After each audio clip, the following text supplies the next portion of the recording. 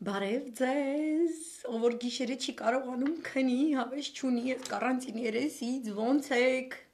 Ուրեմն ըմ ըմ մի հատ sense հոդված էի կարդում, այսօր շատ հոդվածներ եմ կարդացել։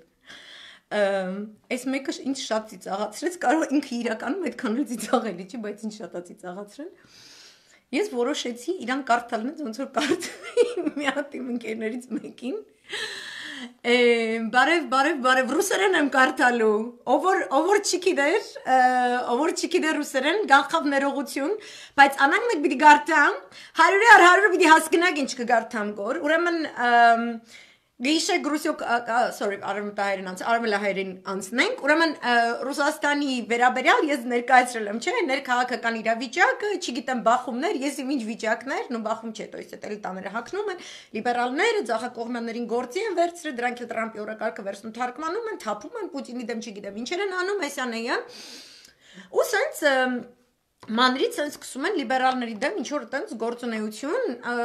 իրանց 5-րդ ամենա ամենա ամենա ամենա 5-րդ Շարասյան ամենա ամենա ամենա ներկայացուցիչներից մեկը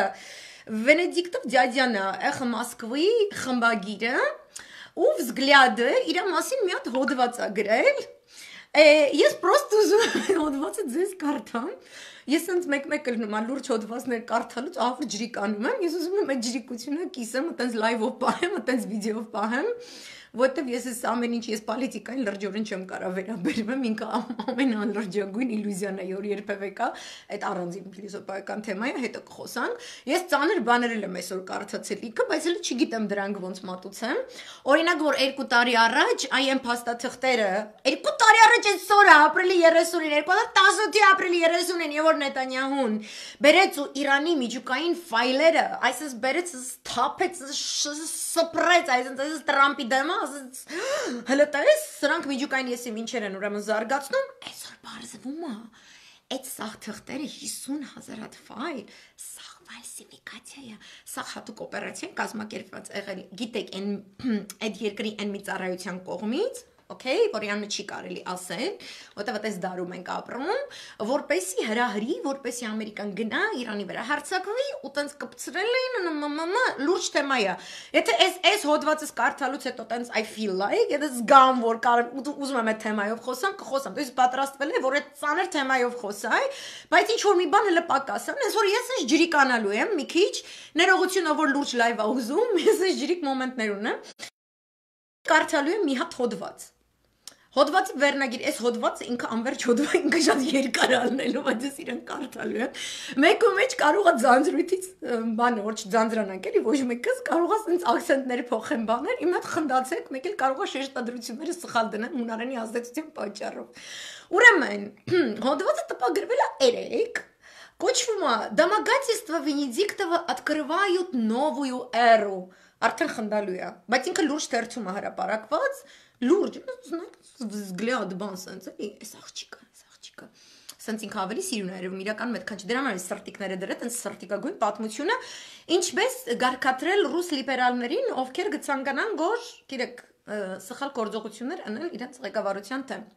Главный редактор радиостанции «Эхо Москвы» Алексей Венедиктов весь день в среду отрицал, что в 2012 году приставал к оппозиционерке Анне Ведуте, работавшей в то время пресс-секретарем блогера Алексея Навального, и лишь под вечер все же был вынужден принести ей свои извинения. Микстер Никол, чигидем олень, олен Артурин, Артур оленин чигидем инч, андехсен, саскамы мекер козар тасет кутуаканин дамагатиствая է եղել Նավալնի աշխատող աղջկա դեմ Վենեդիկտ Վենեդիկտովի կողմից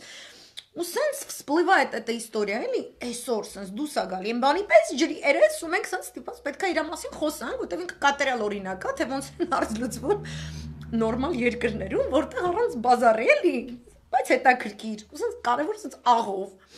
Асума, напомним о домогательствах главного редактора. Ведута рассказала в интервью BBC, которое появилось утром в среду, по ее версии в 2012 году. После совместного ужина Венедиктов предложил подвести девушку до дома. Инка чигидерера вира маман часа вира ведьерку манера ченасн. Это ту, это ту дядя, это гнумеш чаши кутайло, это дядя кезасма. Девушка, а можно вас подвести до дома? Цават танем, узас гнумен иногда до дома. Асума в машине главный редактор трогал ее за коленки, поднимаясь выше. Я вжималась в кресло, уползала, говорила «не надо», рассказывая теперь Ведута. Выйдя из машины, Венедиктов пытался поцеловать Ведуту. По ее словам, она ответила Венедиктову, что дома мама. Потом забежала в квартиру и час сидела на полу в ванной, уставившись в стену. В ответ на эту публикацию Венедиктов поначалу уверял, что не переходил с Анной Ведутой никаких границ. Я про это ничего не знаю, ничего не помню, пусть девушки рассказывают, это, наверное, приносит им какой-то бенефит. Я не могу запретить неизвестным мне девушкам на моем имени публично наживаться. Я вижу очень много разных фантазий. Тук հասկանում եք ով ֆանտազիաներից խոսում արևմտահայերեն խոսողներու համար, ուրեմն Շատ լիբերալ հայացքներու դեր մամլո աջանսի մգա մոսկվա կես բուդինի տեմ քեշփաներ գկրե գոր բանասան հայաստանին տեմա լամեն տեմ liberal western agenda-ի ճատագով radio station մնե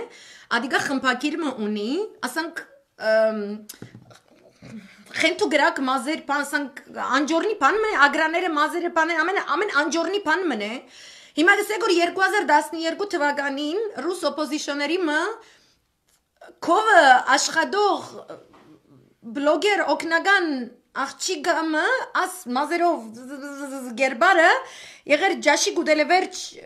իրեն հետը ինքը անոր ցերկերով թբած է անոր ձունգերին and this is a story this is a very big story Все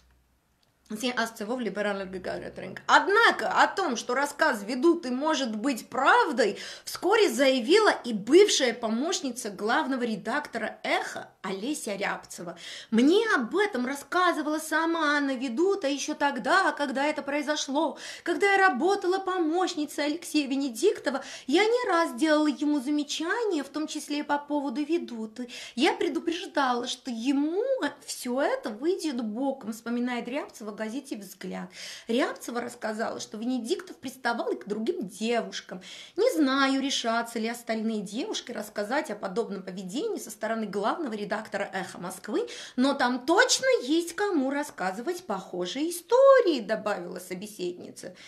Վիսյալ история, услышать не хотите ли, այսինքն հոսան վգամը ելած է, որ անալ աղջիկ մնա, անալ գսե գոր, որ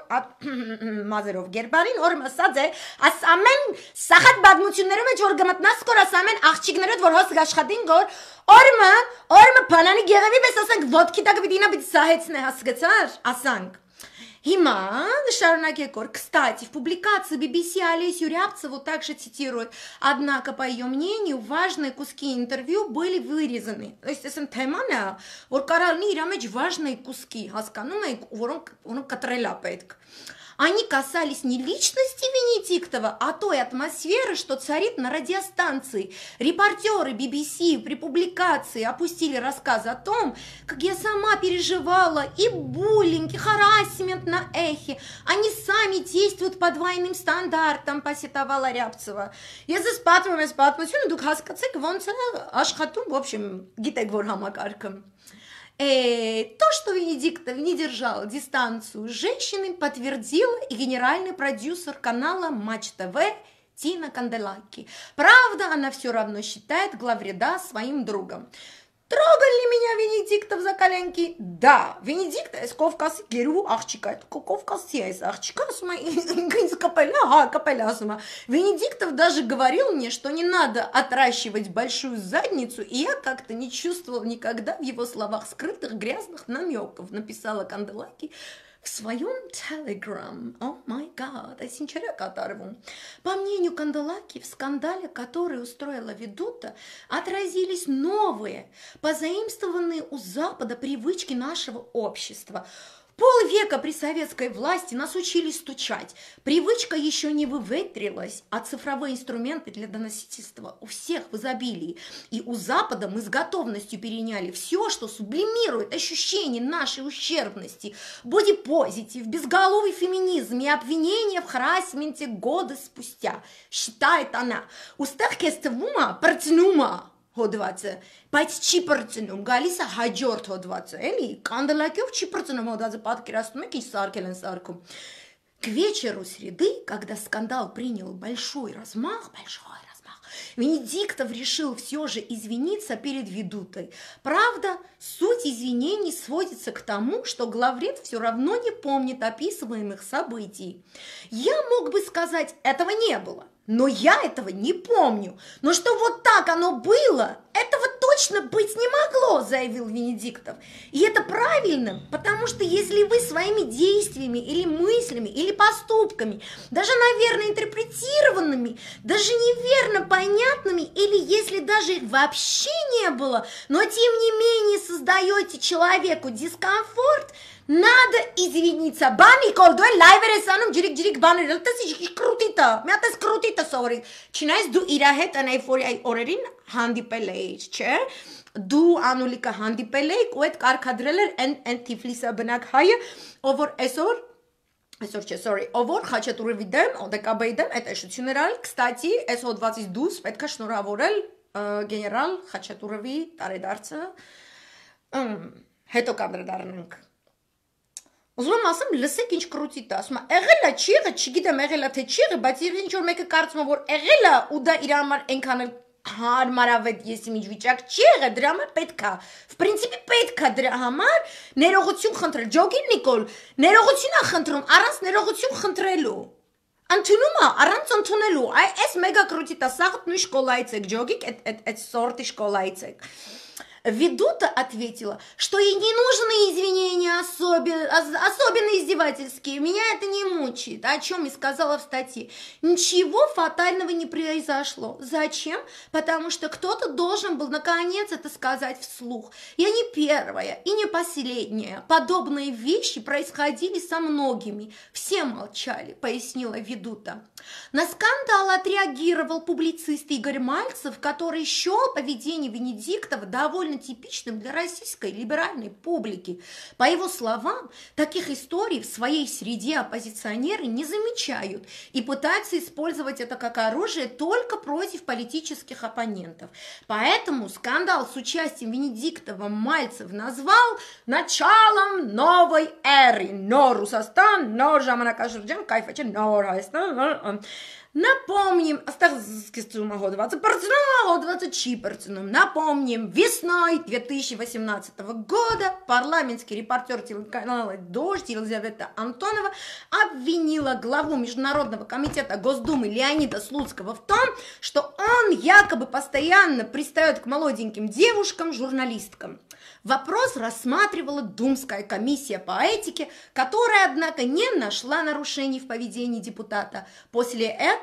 больше двух десятков оппозиционных редакций, в том числе и «Эхо Москвы», объявили всей Нижней Палате бойкот. Кстати, Венедиктов тогда утверждал, что власть защищает Слуцкого по чисто политическим резонам. Между тем, Эли Чипартинова 20 аналогичные скандалы вокруг любителей трогать девушек за коленки регулярно случаются и в оппозиционной среде, но многие либеральные активисты предпочитают смотреть на них сквозь пальцы.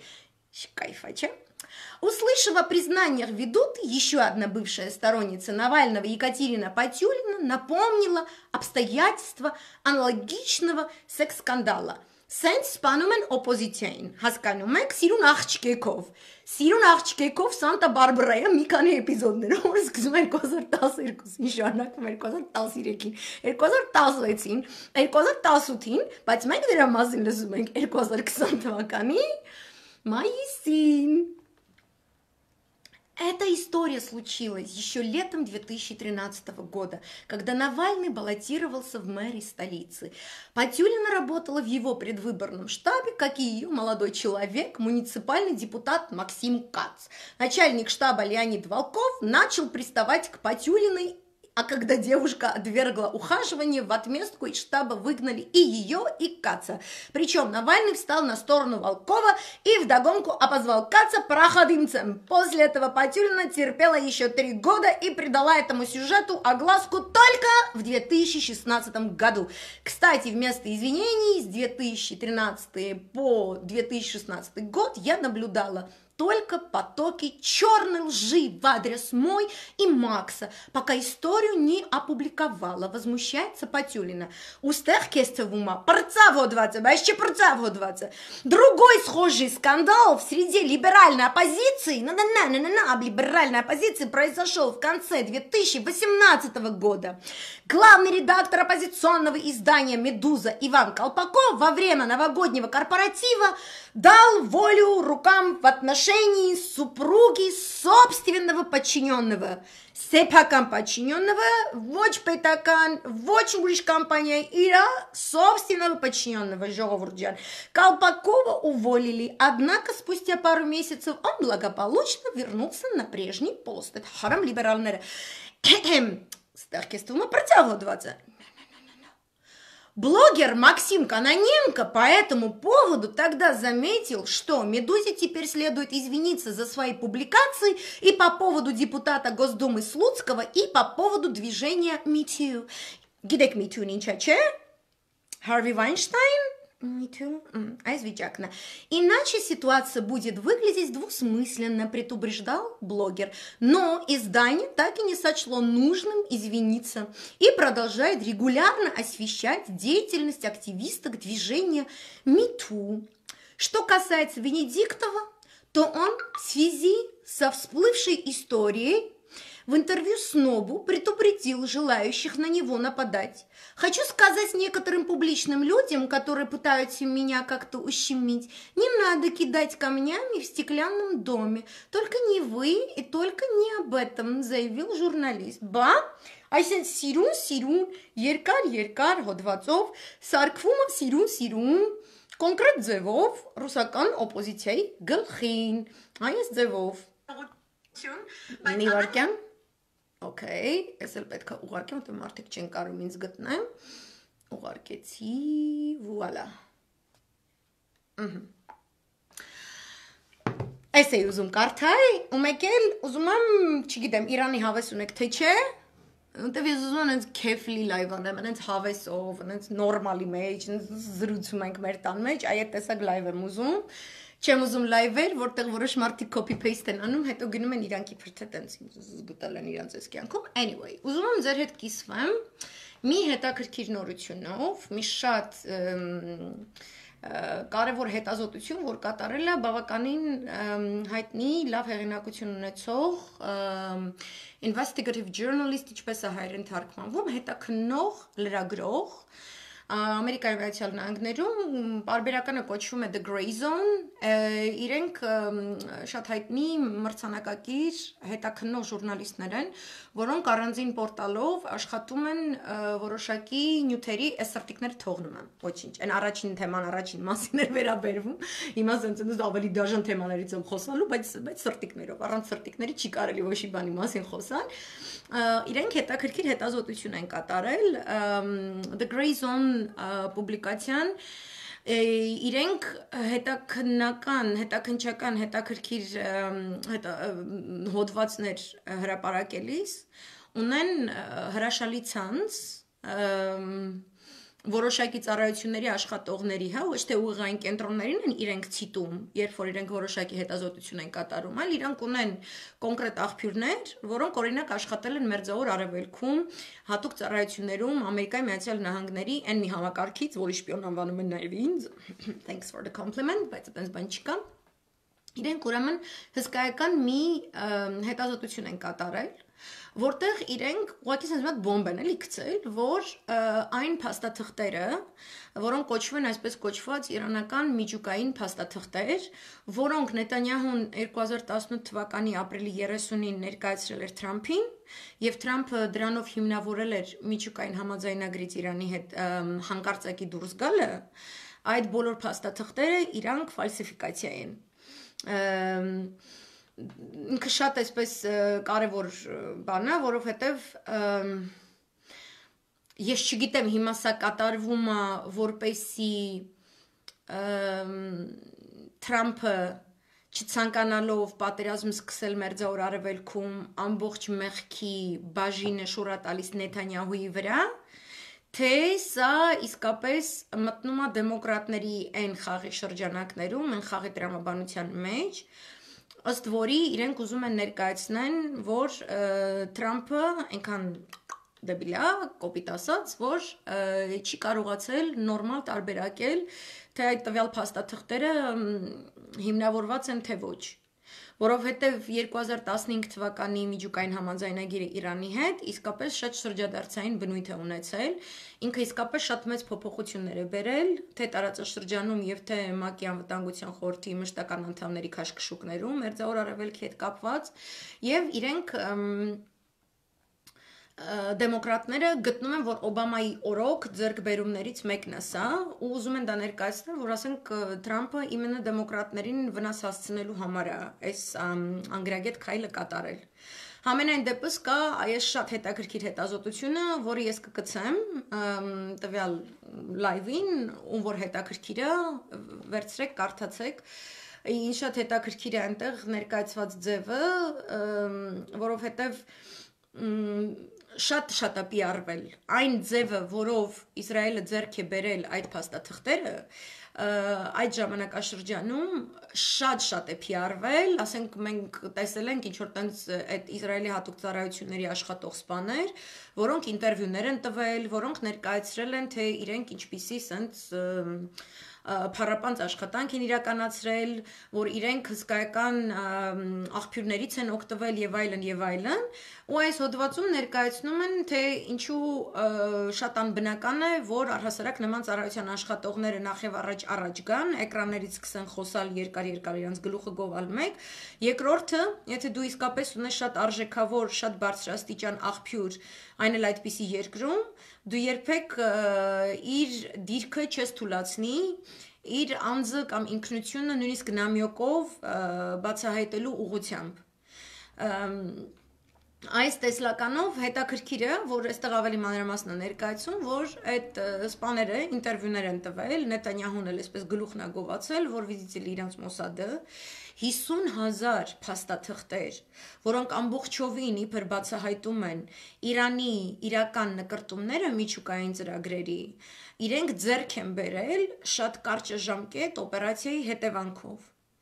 Իրենք տարիներով են աշխատել, դա ճիշտ է, Իրանի տարածքում, հիշում եք, միջուկային ֆիզիկներ էին մահանում, իրանց ընտանիքներն էին հանկարծ անհետանում, տարբեր օպերացիաներ իրականացրած եղել։ Բայց 2015 թվականի միջուկային համաձայնագրից հետո Իրանը ստանձնել էր իր վրա միջուկային զարգացման ծրագրերի որոշակի ստանդարտիզացիա, որոշակի ուրանի հարստացման չափանիշներ, որոնք ինքը արտակորվածություն էր վերցրել իր վրա, որ չի խախտելու։ Ինչի դիմաց ինքը Գերմանիա, Ֆրանսիա, Ռուսաստանի Դաշնություն, Չինաստան, ԱՄՆ-ի եւ Անգլիայի հետ կնքելով այդ համաձայնագիրը ստանում է իր նավթը եւ այլ հունք եւ այլ ապրանքատեսակներ Եվրոպայում թափանցիկ ձևով իրացնելու իրավունք Այսինքն ինքը միանգամայն թափանցիկ ձևով ներկայացնում է իր միջուկային պոտենցիալը այս երկրներին եւ դրանի պատասխան ինքը ստանում թափանցիկ առևտրային ինչ-ինչ առավելություններ։ Ինքը կարողանում էր իր նավթը դայր սահմանափակ քանակով յուրացնել եվրոպական շուկայում, այսպես աստիճանաբար թափանցիկանալով, թափանցիկանալով։ Իսրայելի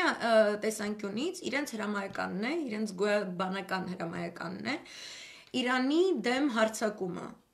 եւ դրա պատճառաբանությունը պետք է լինի լեգիտիմ։ Այսինքն Իսրայելը պետք է ընդունակ լինի ապացուցելու, որ իսկապես Իրանը խախտում է իր միջուկային ծրագրով իր ստանձնած սահմանափակումները ու կոպիտ ասած տակից լրիվ ուրիշ բան է անում եւ դա հիմք է հանդիսանում այն բանի համար, որպեսի ուղակի Իրանի տարածքում ռմբակոծություն իրականացնեն ԱՄՆ, Իսրայել, Թուրքիա, Սաուդական Արաբիա եւ այլ այսպես կոալիցիոն ուժերը։ Այս երկու տարվա բոլոր զարգացումները, որ մենք տեսանք, նավթային տանկերներ բռնագրավելով փոխադարձաբար, քաշքշուկներ, ԱՄՆ-ի դիվանագիտական հնարքներ, հատկապես Բոլթոնի Բոլթոնի կառավարման օրոք որպես ազգային անվտանգության խորհրդական այդ երկրների, եվրոպական երկրների, Գերմանիա, Ֆրանսիա, Անգլիայի դուրս գալը այդ միջուկային համաձայնագրից։ Այս ամեն ինչը կատարվում էր, որպեսզի լեգիտիմ հիմքեր գտնվեն այն բանի համար, որ պատրաստում ենք պատերազմի։ Եվ հիմա էլ մենք ապրում ենք բավականին նախապատերազմական պայմաններում։ Եվ սա այս հոդվածը եւ մի քանի այլ հասարակական կազմակերպությունների աշխատանքներ ԱՄՆ-ում եւ նաեւ Եվրոպայում կան նման կազմակերպություններ, հիանալի օրինակ է առայն, թե ինչպես քաղանրույթը դեմ է հանդես գալիս այս կամ այն պատերազմի։ Ուրեմն, այդ փաստաթղթերով 50000 փաստաթղթերով Նետանյահուն ճակերտավոր ասած ապացուցել է Թրամփին, որ քանի դեռ դուք մտածում եք, թե իբր Իրանը ոչ մի բան չի ձեռնարկելու, իրականում իրենք միջուկային զարգացման ծրագիրը շարունակում են իրագործել, ահա այսպիսի ռումբ են իրենք զարգացնում, ահա այսպիսին են, նու տեղորոշել են, որ որ կետերում Իրանի որ հատվածում իրենց կարծիքով կա, բայց դրանք թափանցիկ են, այսինքն միջուկային զարգացման հատուկ ենթակառուցվածքներ, ինչպիսի խորությամբ, ինչպիսի մակարդակներով եւ այլն եւ այլն ու հետաքրքիրը այն էր, որ այս հետազոտության մեջ իրանք ուրեմն ուշադրություն են դարձնում, որ փաստորեն ստացվում է, որ ինչ որ Մոսադի աշխատողներ, ըստ հենց իրանց աշխատողի տված ինտերվյուի, ինքը ասում է Թեհրանի կենտրոնով մեկ ծրված տարբեր կետերում լքված պահեստային շինություններ եւ առհասարակ լքված կիսակառույց շինություններում պահված էին այդ փաստաթղթերը եւ ասում եմ մենք այնպիսի ճշգրտությամբ ենք տիրապետում տվյալների որ նույնիսկ ոչ միայն ճիշտ ձևով են կողմնորոշել մեր հատուկ աշխատակիցներին, որ գնան իմենը այս պահեստը մտնեն, այլ նույնիսկ մենք իրանց ճիշտ ճշգրտագույն ինստրուկտաժ են կարել, թե այդ պահեստում գտնվող սեյֆերից որ մեկը իրանք պայթացնեն։ Ինքը շատ այսպես ինֆոպատերազմի բոլոր էլեմենտներով համեմված պատմություն է եղել։ Հայաստանում այդ ժամանակ զբաղված էին թավշյա իլյուզիաներով, ու ես նկատել եմ մեր թավշյա իլյուզիաների զարգացումը միանգամայն զուգահեռ այս Իրան-Իսրայել հակամարտության զարգացմանը եւ դրանում Ամերիկայի Միացյալ Նահանգների կողմից շրջադարձային այսպես տեսլական ստանձնելու ուղղվածությունը Այսինքն ինքը միանգամից Տրամպը վերցնում այս 50000 փաստաթղթերը, ինքը գնում է լայվ, ինքը մեծ հայտարարություն է անում, որ տեսեք Իսրայելի ծառայությունները մեզ բերել են հսկայական ապացույց ու միակողմանիորեն իրենք դուրս են գալիս Իրանի հետ համաձայնագրից միջուկային։ Ու այ այդ ժամանակ է տեղել ապրիլի 30-ին ու եղել է մայիսի առաջին շաբաթը 2018-ի այդ որոշումը, որ իրենք սկսում են Իրանի դեմ պատերազմական գործողությունների քաղաքականություն արդեն։ Ու այդ ժամանակ էլ այս բոլոր այս սրացումները, թավշյա սրացումները Հայաստանում Ամերիկայի Միացյալ Նահանգների դեսպանի միանգաման միանգամայն այլ կերպ դրսևորած այսպես վարկագից մեր այսպես opposition կոչվածի հանդեպ գումարների փոխանցում, որպեսի թավշյա հեղաշրջում լինի, բավականին ոչ կոռեկտ պահվածք իշխող ուժերի եւ տրադիցիոն մեր կուսակցությունների եւ մեր եկեղեցու եւ մեր բանակի հետ հա, իրենք այս այս փաստաթղթերով ողքեվորված մի ամբողջ sense կծիկ են բաց թողել ու ես շատ կուզենայի որ մեր քաղաքական բանավեճի դաշտը առհասարակ լիներ այնքան ավելի ավելի խոհեմ որ մենք կարողանանք այ այս պատմության զարգացումանը հետևենք այլ ոչ թե նստենք ինչ որ կծկտուր, ինչ որ մարդկանց լայվեր, չգիտեմ, քննարկենք, այս կոմ են կոմ, սա երևույթային հետաքրքիր իրադարձություն է, որը 2 տարի է եփվում է այս միջուկային, այսպես կոչված Իրանի միջուկային ֆայլերը, այդպես է կոչվում այս գործը, իր ստույգությունը, իր ճշգրտությունը միշտ հարցականի է ենթարկվել տարբեր ուժերի կողմից։ Ու հիմա այստեղ երկու ուրեմն կենտրոնական, ինչ են ասում, հետախուզական ծառայության աշխատողներ, որոնք երկուսն էլ աշխատել են Մերձավոր Արևելքում, իրենք իրենց ձերքին ունենալով այդ փաստաթղթերը, այսինքն grayzone.com-ը ձերք բերելով բուն այդ փաստաթղթերը, վերցրել է ու մասնագիտական կոմիտեի քննարկմամբ, ստուգմամբ փորձել է հասկանա այդ փաստաթղթերի իսկությունը ու իրենք այսպիսի որոշում են կայացրել, որ փաստաթղթերը fake են ու ավելի շատ հիշեցնում են Իսրայել պետության հատուկ ծառայությունների կազմակերպած դիսինֆորմացիոն գործողություն առայն, որպեսի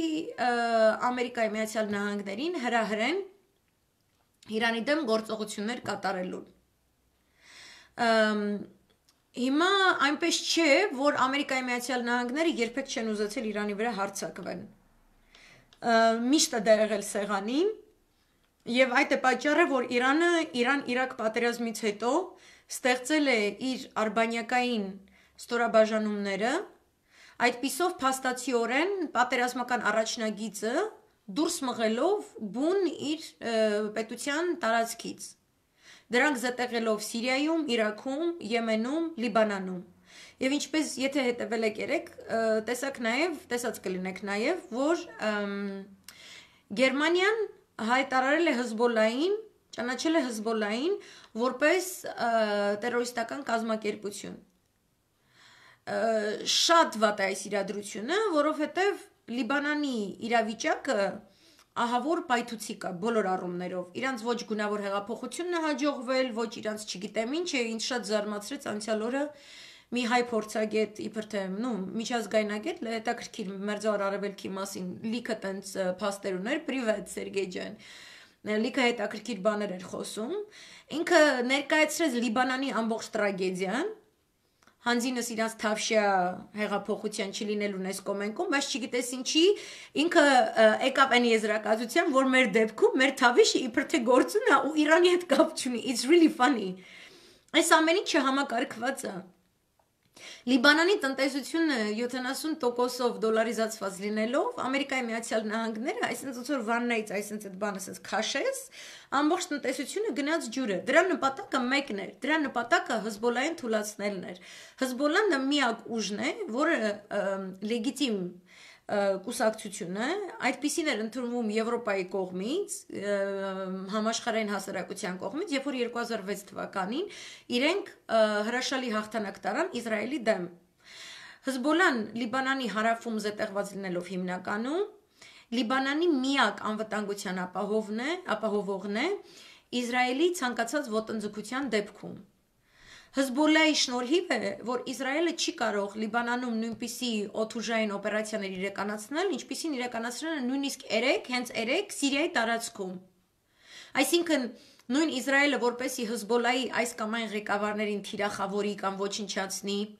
կամ ինչ որ բարդություններ ստեղծի Լիբանանյան Հզբոլայի համար, նման օպերացիաները միմիայն իրականացնում է Սիրիայի տարածքում։ Լիբանանի տարածքում ինքը ոչի բան չի կարողանում անի։ Ու Լիբանանը նույնպիսի կարգավիճակում է այս առումով։ Իրանի դեմ պատրաստվող պատերազմի տեսանկյունից, ինչպիսին Հայաստանը եւ Արցախն են։ Ոչ մի տարբերություն։ Եթե իրենք պետք է իրականացնեն այդ պատերազմական հարցակումը Իրանի վրա, իրենց հարկավոր է այդ խոսում ենք Սիրիայի M4, M5 մայրուղիները, այդ մայրուղիները գալիս բերում են, հասնում են Լիբանան, Լիբանանից դուրս են գալիս միջերկրական ծով Այսինքն միջերկրական ծովից մինչև Իրան այդ մայրուղին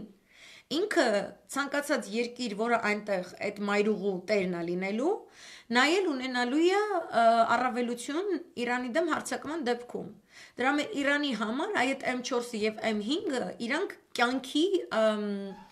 կյանքի մայրուղիներ են։ Դա իրանք կենսունակությունը ապահովող միակ գիծն է։ Դա գործում է, որովհետև Հզբոլան իրականացնում է թե Լիբանանի եւ թե Սիրիայի տարածքում գալով իջնելով Իրաք, իրականացնում է պաշտպանական գործողություններ։ Եվ Ռուսաստանի Դաշնության եւ պետական պաշտոնական Սիրիան սիրիական բանակի հետ հավասար ծառայող ոչ միայն իրանական, այլ շիիտական ստորաբաժանումները իրենք Հզբոլայի, այսպես ասած, extension-ն են Սիրիայի տարածքում եւ իրենք գերազանց են կատարում այդ գործողությունները։ Հիմա երբ որ դու Հզբոլային հայտարարում ես terroristական կազմակերպություն, եթե Գերմանիան արեց Եվրոպան էլ շարունակելու, Դա նույնն է, ինչպես որ այդ միջուկային համաձայնագրից դուրս գալուց հետո Տրամպը հանկարծակի մեկ օրվա մեջ դուրս եկավ ու հայտարարեց, որ Հեղափոխության պահապանները terroristական կազմակերպություն են։ Դա նշանակում է ոչ մի ֆինանսական փոխանցումներ, դա նշանակում է ոչ մի համագործակցություն։ Նույնիսկ տեղական առումով բուն Սիրիայի տարածքում նույն ամերիկացիները, նույն թուրքերը, նույն ռուսները, մյուսները իրենք այս կամ այն օպերացիան իրականացնելու նպատակով չեն զլանում համագործակցել Հզբոլայի հետ կամ հեղափոխության պահապանների հետ կամ շիիտական այս ստորաբաժանումների հետ, որտեղ նրանք իգիլականների դեմ տարած կռիվներում ավելի հետաքրքիր ուրեմն մանևրելու ընդունակություն ունեն, նախ եւ առաջ իրանք այնտեղ Սիրիայի քրդերի հետ խնդիր չունեն եւ այլն եւ այլն, հետաքրքիր ուրեմն տեխնոլոգիաներով, այդ տեխնոլոգիաներով իրանք հաջողվել էր Իրաքը դատարկել, ազատագրել իգիլականներից։ ու այ այս առումով այնքան արդյունավետ ձևով էին այս պրո-իրանական ուժերը աշխատել, որ իրենք փաստորեն կարողացել էին բերել այնպիսի տեսլականի նույն Իրաքի տարածքում, որ հարգելի Ամերիկայի Միացյալ Նահանգների զինված ուժեր, տեսեք, մենք կարողանում ենք Բաղդադի ղեկավարության հետ աշխատելով իրականացնել մեր առաքելությունը։ Հարկ չկա ամերիկյան բանակի այստեղ գտնվելու համար։ Եվ սա անցանկալի էր Ամերիկայի Միացյալ Նահանգների համար, բայց դա բխում էր 2015 թվականի միջուկային համաձայնագրի ոգուց։ Միակ երկիրը, որը համաձայն չի եղել նման զարգացման հետ, Այսինքն համընթաց ձևով դու ունես միջուկային համաձայնագիր, Իրանը թափանցիկ ձևով է իրեն պահում, ինքը թափանցիկ ձևով իր նավթը եւ այլ հումքը իրացնում է եվրոպական շուկայում այնպիսի ֆինանսական ինստրումենտների միջոցով, որոնք ընթեռնելի են ամբողջ արևմուտքի համար, դու չես կարող ասես, հա terroristներ են, չգիտեմ ինչ են, այսինքն գնում է սենց ինտեգրացիա, չէ, ինչ որ աստիճանական։ Միևնույն ժամանակ Իրանի ռազմական ստորաբաժանումները կամ պրո-իրանական շիիտական ստորաբաժանումները Սիրիայում, Իրաքում, Լիբանանում իրագործում են հակաիգիլական գործողություններ, որոնք պետք է իրականացներ Ամերիկայի Միացյալ Նահանգները կամ Թուրքիան, բայց բնականաբար իրանք այդ բանը չեն կարողանում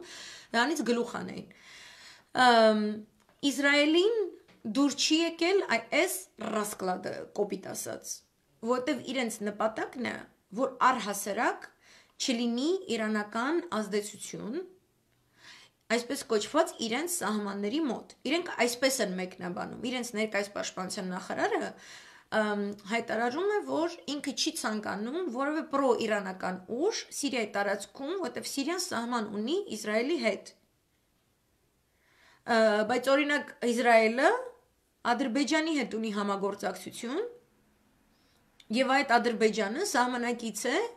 Իրանի հետ։ Եթե այդ նույն տրամաբանությամբ Իրան առաջնորդվեր, նշանակում է ինքն էլ պետքա ինքնաթիռներ ուղարկի Ադրբեջանի տարածքում ինչ որ բաներ խփի, չէ՞։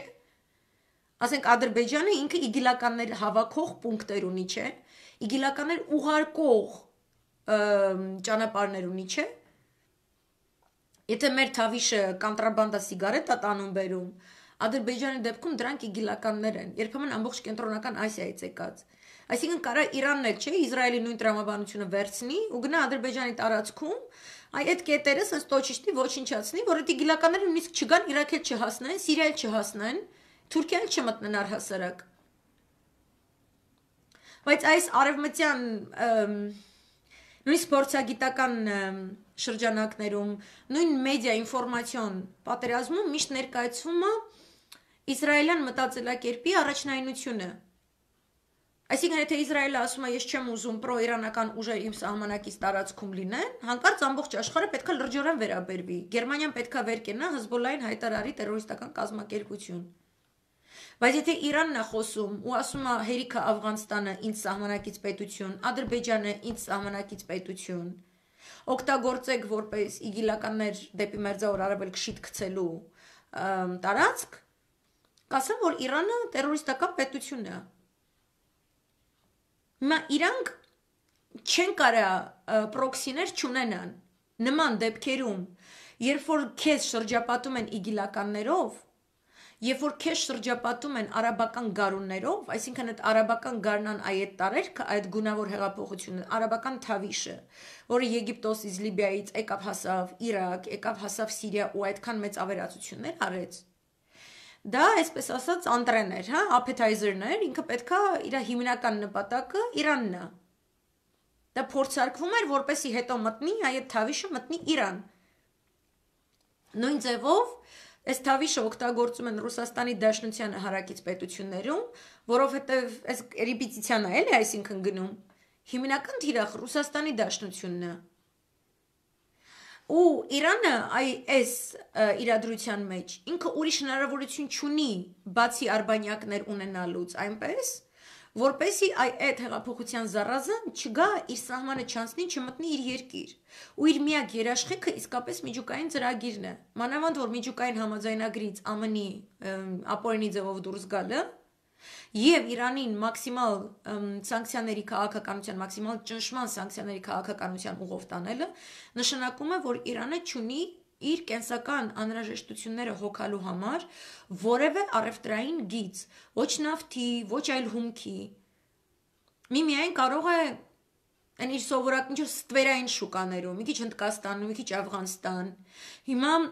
Ամերիկայի Միացյալ Նահանգները այսօր մեծ աղմուկ բարձրացրեցին, որ Վենեսուելան ու Իրանը ձև են գտել, որով Վենեսուելան նավով ոսկի է ուղարկում, Իրանը նավով նավթ է ուղարկում։ Բայց այս ամեն ինչի կարիքը չեր լինի, եթե այդ միջուկային համաձայնագիրը նորմալ գործեր ու չլիներ այդ ճնշումների քաղաքականությունը։ Սակայն Իսրայելը չի ցանկանում դա։ Իրենք ասում են, թող Իրանը չունենա նույնիսկ արբանյակներ տարածաշրջանում։ Բայց ինչ ասել է արբանյակ։ Եթե կան շիաներ, ովքեր ապրում են Լիբանանում, եթե կան շիաներ, ովքեր ապրում են Սիրիայում, եթե կան շիաներ, ովքեր ապրում են Իրաքում, եւ կան սուննիտական իգիլականները, որոնք մուսուլման եղբայրների ջիհադիստների ծայրահեղ գաղափարախոսությամբ գալիս են ու քրիստոնյաներից զատ նաեւ ոչնչացնում եւ ցեղասպանության են ենթարկում շիաներին, ինչպես կարող է Իրանը, որը շիաների հոգևոր կենտրոնն է, չիրականացնել իրենց պաշտպանելու գործառույթներ։ Եվ ստացվում է, որ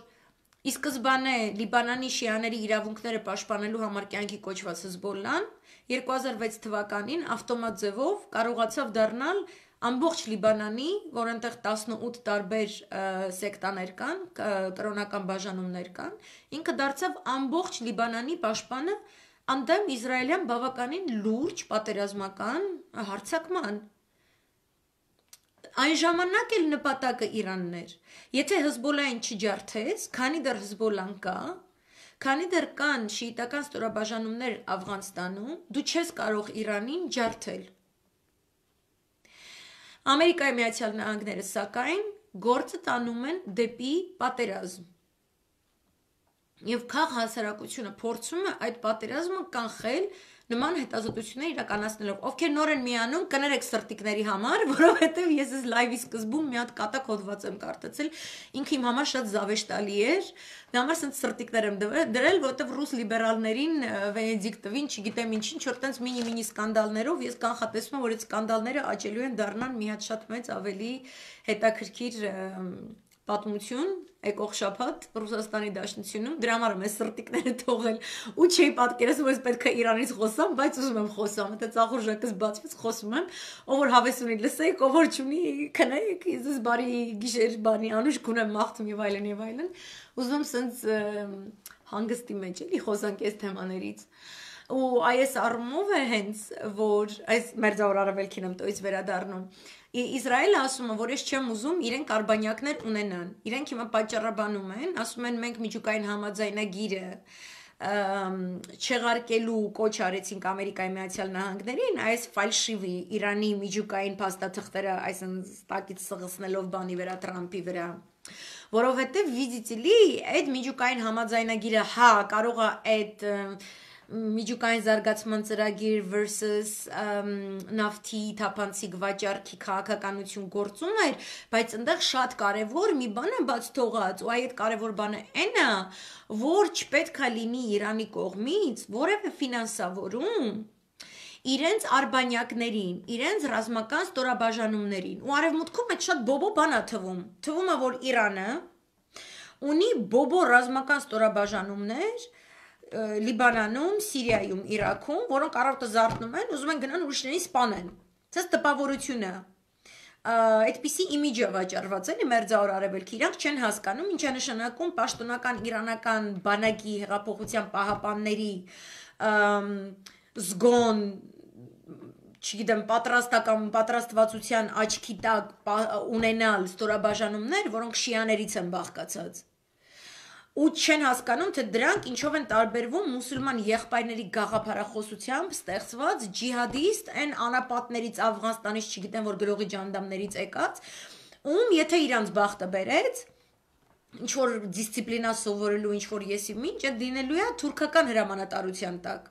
ու առհասարակ ՆԱՏՕ-ն է իրանց էլի այդ այդ գախնի ճամբարներում հետաքրքիր ձևով իրանց պատրաստում են ՆԱՏՕ ՆԱՏՕ-ի ժողովուրդը ինչքան էլ իրանք թաքցնում են ու չգիտեմ ինչ անընդհատ դա դուրս է գալիս մամլոմիջոցներում որակական շատ մեծ տարբերություն կա թե Իրանը ինչպիսի պատասխանատվությամբ է վերաբերում իր անունից իր կրոնի անունից, չէ՞ որտեվ Իրանի իսլամական հանրապետությունը հանդես եկող ռազմական ստորաբաժանումների ու այն ջիհադիստ terroristական կազմակերպությունների միջև։ Հիմա, երբ որ դուրս է գալիս Գերմանիան ու ասում է, որ Հզբոլլան terroristական կազմակերպությունը եւ կա Քադայբ Հզբոլլա, որը Իրաքի շիիտական ստորաբաժանումներն են, եւ Codes Brigade դրանք էլ անվանում են terroristական հեղափոխության պահապանների հետ դա կատարվում է Իսրայելին հրամայականով, որ իրանք չպետքա ֆինանսավորում ստանան Իրանից։ Հասկանում եք, այսինքն պատկերացեք Հայաստան Արցախ ու մեզ տրվի այդ հրամայականը, որ Հայաստանից Արցախում կրվող հայ ստորաբաժանումներին, հայկական բանակի ստորաբաժանումներին մենք ոչ մի ֆինանսավորում, ոչ մի կապ իրանց հետ առհասարակ չունենանք։ Դրա վրա, կստացի Ադրբեջանը աշխատում է։ Թուրքիան էլ է աշխատում դրա վրա, բայց տրամաբանությունը դա է։ Ուզում են ապացուցեն, որ տիպը դրանք կապ չունեն ինչ որ լեգիտիմ որևէ գործակցի հետ բայց Սիրիայում էլ, Իրաքում էլ, Լիբանանում էլ շիիտական համայնքները իրենք ոչ միայն լեգիտիմ են, այլ այդ պետություններում առհասարակ այդ կրոնական մեծամասնությունների կտրվածքով է հասարակությունը բաժանված ապրում։ Իրանց սոցիալական ապահովման բոլոր ծրագրերը իրենց հավատքի շրջանակներում իրենց կենցաղը կազմակերպելու խնդիրները դա նորմալ բան է մերձավոր արևելքում։ Ու Իսրայելը ասում է, չէ, Ես ուզում էի, որ դուք մի հատ ուրիշ նոր միջուկային համաձայնագիր ունենաք, որով արգելվում է մեկ առաջինը, որ նման արբանյակ կազմակերպությունների հետ կենտրոնական Իրանը կամ հեղափոխության պահապանները ունենան որևէ կենսունակ գից, այսինքն ոչ զենք, ոչ զինամթերք, ոչ մի բան, Այսինքն դու շիաներին թողում ես որ փանտերը, տես սկսում դուս ես գալի քո ժողովրդին։ Ասենք Հայաստանը ոչ մի զինամթերք, ոչ մի զենք, ոչ մի հակուստ, ոչ մի բան չուղարկի Արցախում ծառայող զինվորներին։ Ատենց թողնում է։ Ու դրանից բացի ասում է, ուզում եմ վերահսկողություն իրականացնեմ Իրանի հրթիռային ծրագրերի վրա։ Ես չեմ ուզում ինքը միջին հերահար հրթիռային ծրագիր ունենա բայց միջազգային նորմերի տեսլականից ինչի չպետք է Իրանը ունենա միջին հերահար հրթիռային ծրագիր։ Ինչի Իսրայելը պետք է ունենա, Իրանը չպետք է ունենա։ Այսինքն այ այս մտածելակերպը արևմուտքում, որ ինչ որ Իսրայելը եւ ԱՄՆ-ն են ասում, ինչ որ ՆԱՏՕ-ն է հայտարարում, դա հալաջուղի պես պետքա գնա, իսկ դիմացինը ոչ մի իրավունք չունի դրան հավասարազոր, ինքը շատ sense կոնկրետ զոմբիացված process է։ Ինչի չպետք է Իրանը հարց լուծող լինի տարածաշրջանում, որտեղ իր համայնքներն են ապրում։ Չէ որ իր դեմ դիմաց Ամերիկայի Միացյալ Նահանգները եւ Իսրայելը ցանկանում են ստեղծել սուննիտական նատոյան նման կառույց։ Միայն սուննիներից բաղկացած։ Իսկ Ղուրանի տեսանկյունից այդ պահին, որ դու բաժանեցիր սուննիներին շիաներից իրար դեմ պատերազմի հանելով, Ատեղից սկսում է մալհամա, ատեղից սկսում է մի հատ եկա պատերազմ, ատեղից սկսում է մի հատ մեծ դեպի կորցանուն տանող։ Այսինքն Իրանը իր վրա դնում է նաև հոգևոր ինչ որ գործառույթ իրականացնելու պարտականությունը, որ ես, չգիտեմ, այնտեղ հող կուտեմ, չգիտեմ, կավիճ կուտեմ, ես իմ ինչ կուտեմ, հողը կքերեմ, ես իմ ինչ կանեմ, բայց ես չեմ թույլ տա, որպեսի նույն հավատքի մարդիկ մեկը մյուսի դեմ գնան սուննիները հակնեն շիաների հետ։ ու դրա երաշխիքն է, որ ինքը կարողանա իր շիիտական համայնքներին տեր կանգնի այլ երկրների տարածքներում։ Դա նորմալ է։ Սաուդական Արաբիան եւ Թուրքիան տեր են կանգնում իրանց սուննիտական համայնքներին այլ երկրներում, նույն Ադրբեջանում, նույն Եվրոպայում։ Որտեվ կրոնի ընկալումը, իսլամի կրոնի ընկալումը, ինքը սոցիալական կրոն է, ինքը սոցիալական կանոնակարգ է։ Դու չես կարա Դանիա ու Հոլանդիա չի, էլի, որ դուք հոլանդացիներին քաշեինյան, դուք չգիտեմ ես ինչ քաշեինյան, Դանիայում ապրող հոլանդացիներին, եթե Հոլանդիան փող չուղարկի, չգիտեմ ինչ լինի, այդ հոլանդացիները կջնջվեն, հավատափող կլնեն, այս կոմ են կոմ, այդ վտանգը չկա։ Իսկ այնտեղ այդ վտանգը կա։ Այդ պահից, եթե Իրանը չի կարողանալու զենք զինամթերք հատկացնել նույն լիբանանյան հզբոլային, եթե այդ արտերիան M4, M5-ի կանգնեց ու հզբոլան չի կարողանում ոչ մի բան ստանա, ոչ մի բան ուղարկի, այդտեղ քո համայնքը դառնում է ոնց որ մեր համայնքը 1915 թվականին Ինքը դառնում է զենքից զրկված, սնունդից զրկված, մի հատ սենց շատ հեշտ ձևով թիրախավորելի, սպանվելու պատրաստ հասարակություն։ Դու իրան գալիս խփում ես, հետո խելոք-խելոք գնում մտնում ես Իրան։ Ոչ ոք քեզ դիմադրություն ցույց չի տալիս։ Դրա համար էլ այդ ամբողջ օպերացիան կոչվում է դիմադրություն։ Այն ինչ որ Իրանը իր արբանյակների շնորհիվ իրականացնում է, կոչվում է the resistance movement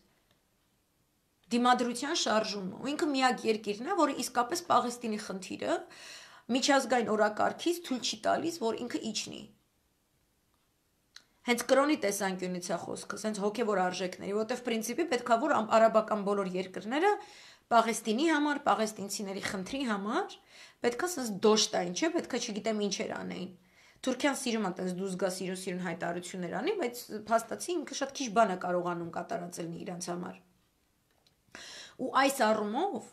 շատ հետաքրքիր է, որ Թուրքիան արդեն գնում է նատոյական հովանու ներքո Սիրիայում։ Դա կատարվում է, այս արդեն անցյալ շաբաթ ասել եմ, կատարվում է այն նպատակով, որ Իդլիբում սպասվում են զարգացումներ, այսօր արդեն արտգործնախարարությունը Ռուսաստանի Դաշնության դժգոհություններ արտահայտել Սիրիայում թուրք-ռուսական պայմանավորվածությունների զինադադարի առումով իրականացման գործընթացի մասին իրենք դժգոհություն են հայտնել։ Աֆրինի դեպքի համար իրենք թուրքերին ասում են քրդական ստորաբաժանումների հետ ինչ որ խնդիրներ ունեիք, բոլորը լուծված են։ Դուք պետքա դադարեցնեք ձեր ռազմական գործողությունները եւ պետքա ISSS տարածաշրջանները հանձնեք Դամասկոսի կառավարման իրավասության տերիտորիա։ Թուրքերը ասում են, չէ, սրանք մեր մարդիկ են, թուրկամաններ են տոյից, այնտեղ որ բերել են լիքը իգիլականներ բերել լցրել են տեղանք ապրում են, այն որ 900.000 հոգի հյուսիսարևելյան Սիրիայից պլյուս հյուսիսարևմտյան Սիրիայից 4 ամսվա մեջ տեղահանվել են, նրանց փոխարեն լիքը պաշկեքով բաներ կա իգիլականներ, որոնք արդեն կանանիքով, երեխեքով բաներ ապրում են, էլի։ Թուրքիան ասում է, ես դա չեմ հանձնելու Դամասկոսի վերահսկողության տակ ու այդ իգլականները, որոնք դարձել են խաղաղ բնակիչներ, որոնք համակեցության պայմաններով ապրում են բնիկ տեղի, տեղաբնիկ սիրիացիների հետ, ցույցեր են անում M4-ին կամ M5-ի վրա, երբ որ պետքա ռուս-թուրքական համատեղ մոնիտորինգային վերահսկողություն իրականացվի ռազմական ոստիկանության կողմից, ցույց են անում ասում են օй մեզ մի տվեք դեղ չգիտեմ Դամասկոսի վերահսկողության տակ մեզ մի դրեք մեզ պահեք ստեղ, խոստանում ենք, չգիտեմ, պուպուշը լնել, լավը լնել եւ այլն եւ այլն, միայն թուրքական վերահսկողության ներքո։ Ու Թուրքիան ասում է, ես իմ ժողովրդին չեմ կարա թողնեմ։ Իրականում իրենք ցանկանում են սկսել մեծ բախումներ Իդլիբում, միևնույն ժամանակ բախումների տանելով ցանկալիորեն Ռուսաստանի Դաշնության ներքաղաքական դաշտը, ինչի արդյոք եւ ես կարծացի այդ լիբերալ այս ապուշությունը, որը թվում է թե ինչ որ այտենց դիշովի սկանդալ է, բայց իրականում գնում է այդ լիբերալների եւ իրանց հետ միացած ցախակողմանների բախումը իշխանական թևի հետ ու եթե Ռուսաստանի ներսում թուլացումը լինի, Իդլիբում անպայման սրացումներ են լինելու շատ վատ որակի ու արդեն իրենք շատ այսպես հետաքրքիր հարաբերություններ են ձևավորում Թուրքիան եւ Ամերիկայի Միացյալ Նահանգները Սիրիայի տարածքում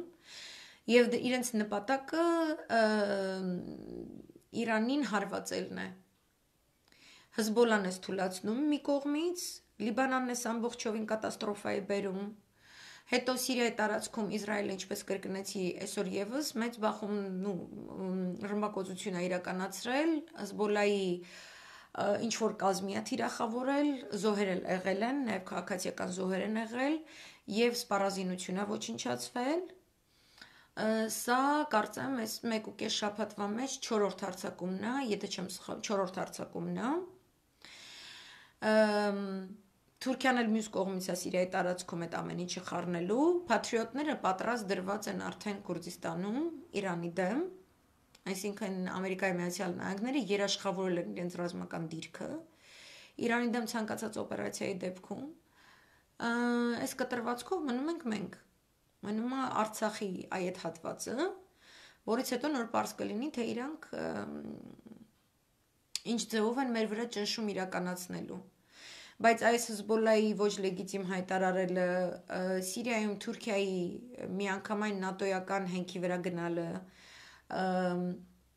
S400-ի առումով իրանք չեն բացելու ուպակովկայից, իրանք ցանկանում են, որ այդ խառնակցությունը Իդլիբում սկսի, այն ժամկետից առաջ, երբ որ իրենք ստիպված են լինելու ուղակի ռուսական S400 համակարգերը մարդկոցային բացել, այսպես ասած գործարկման կարգավիճակում պահել, որպեսզի դա չկատարվի։ Այսպեսին է իրավիճակը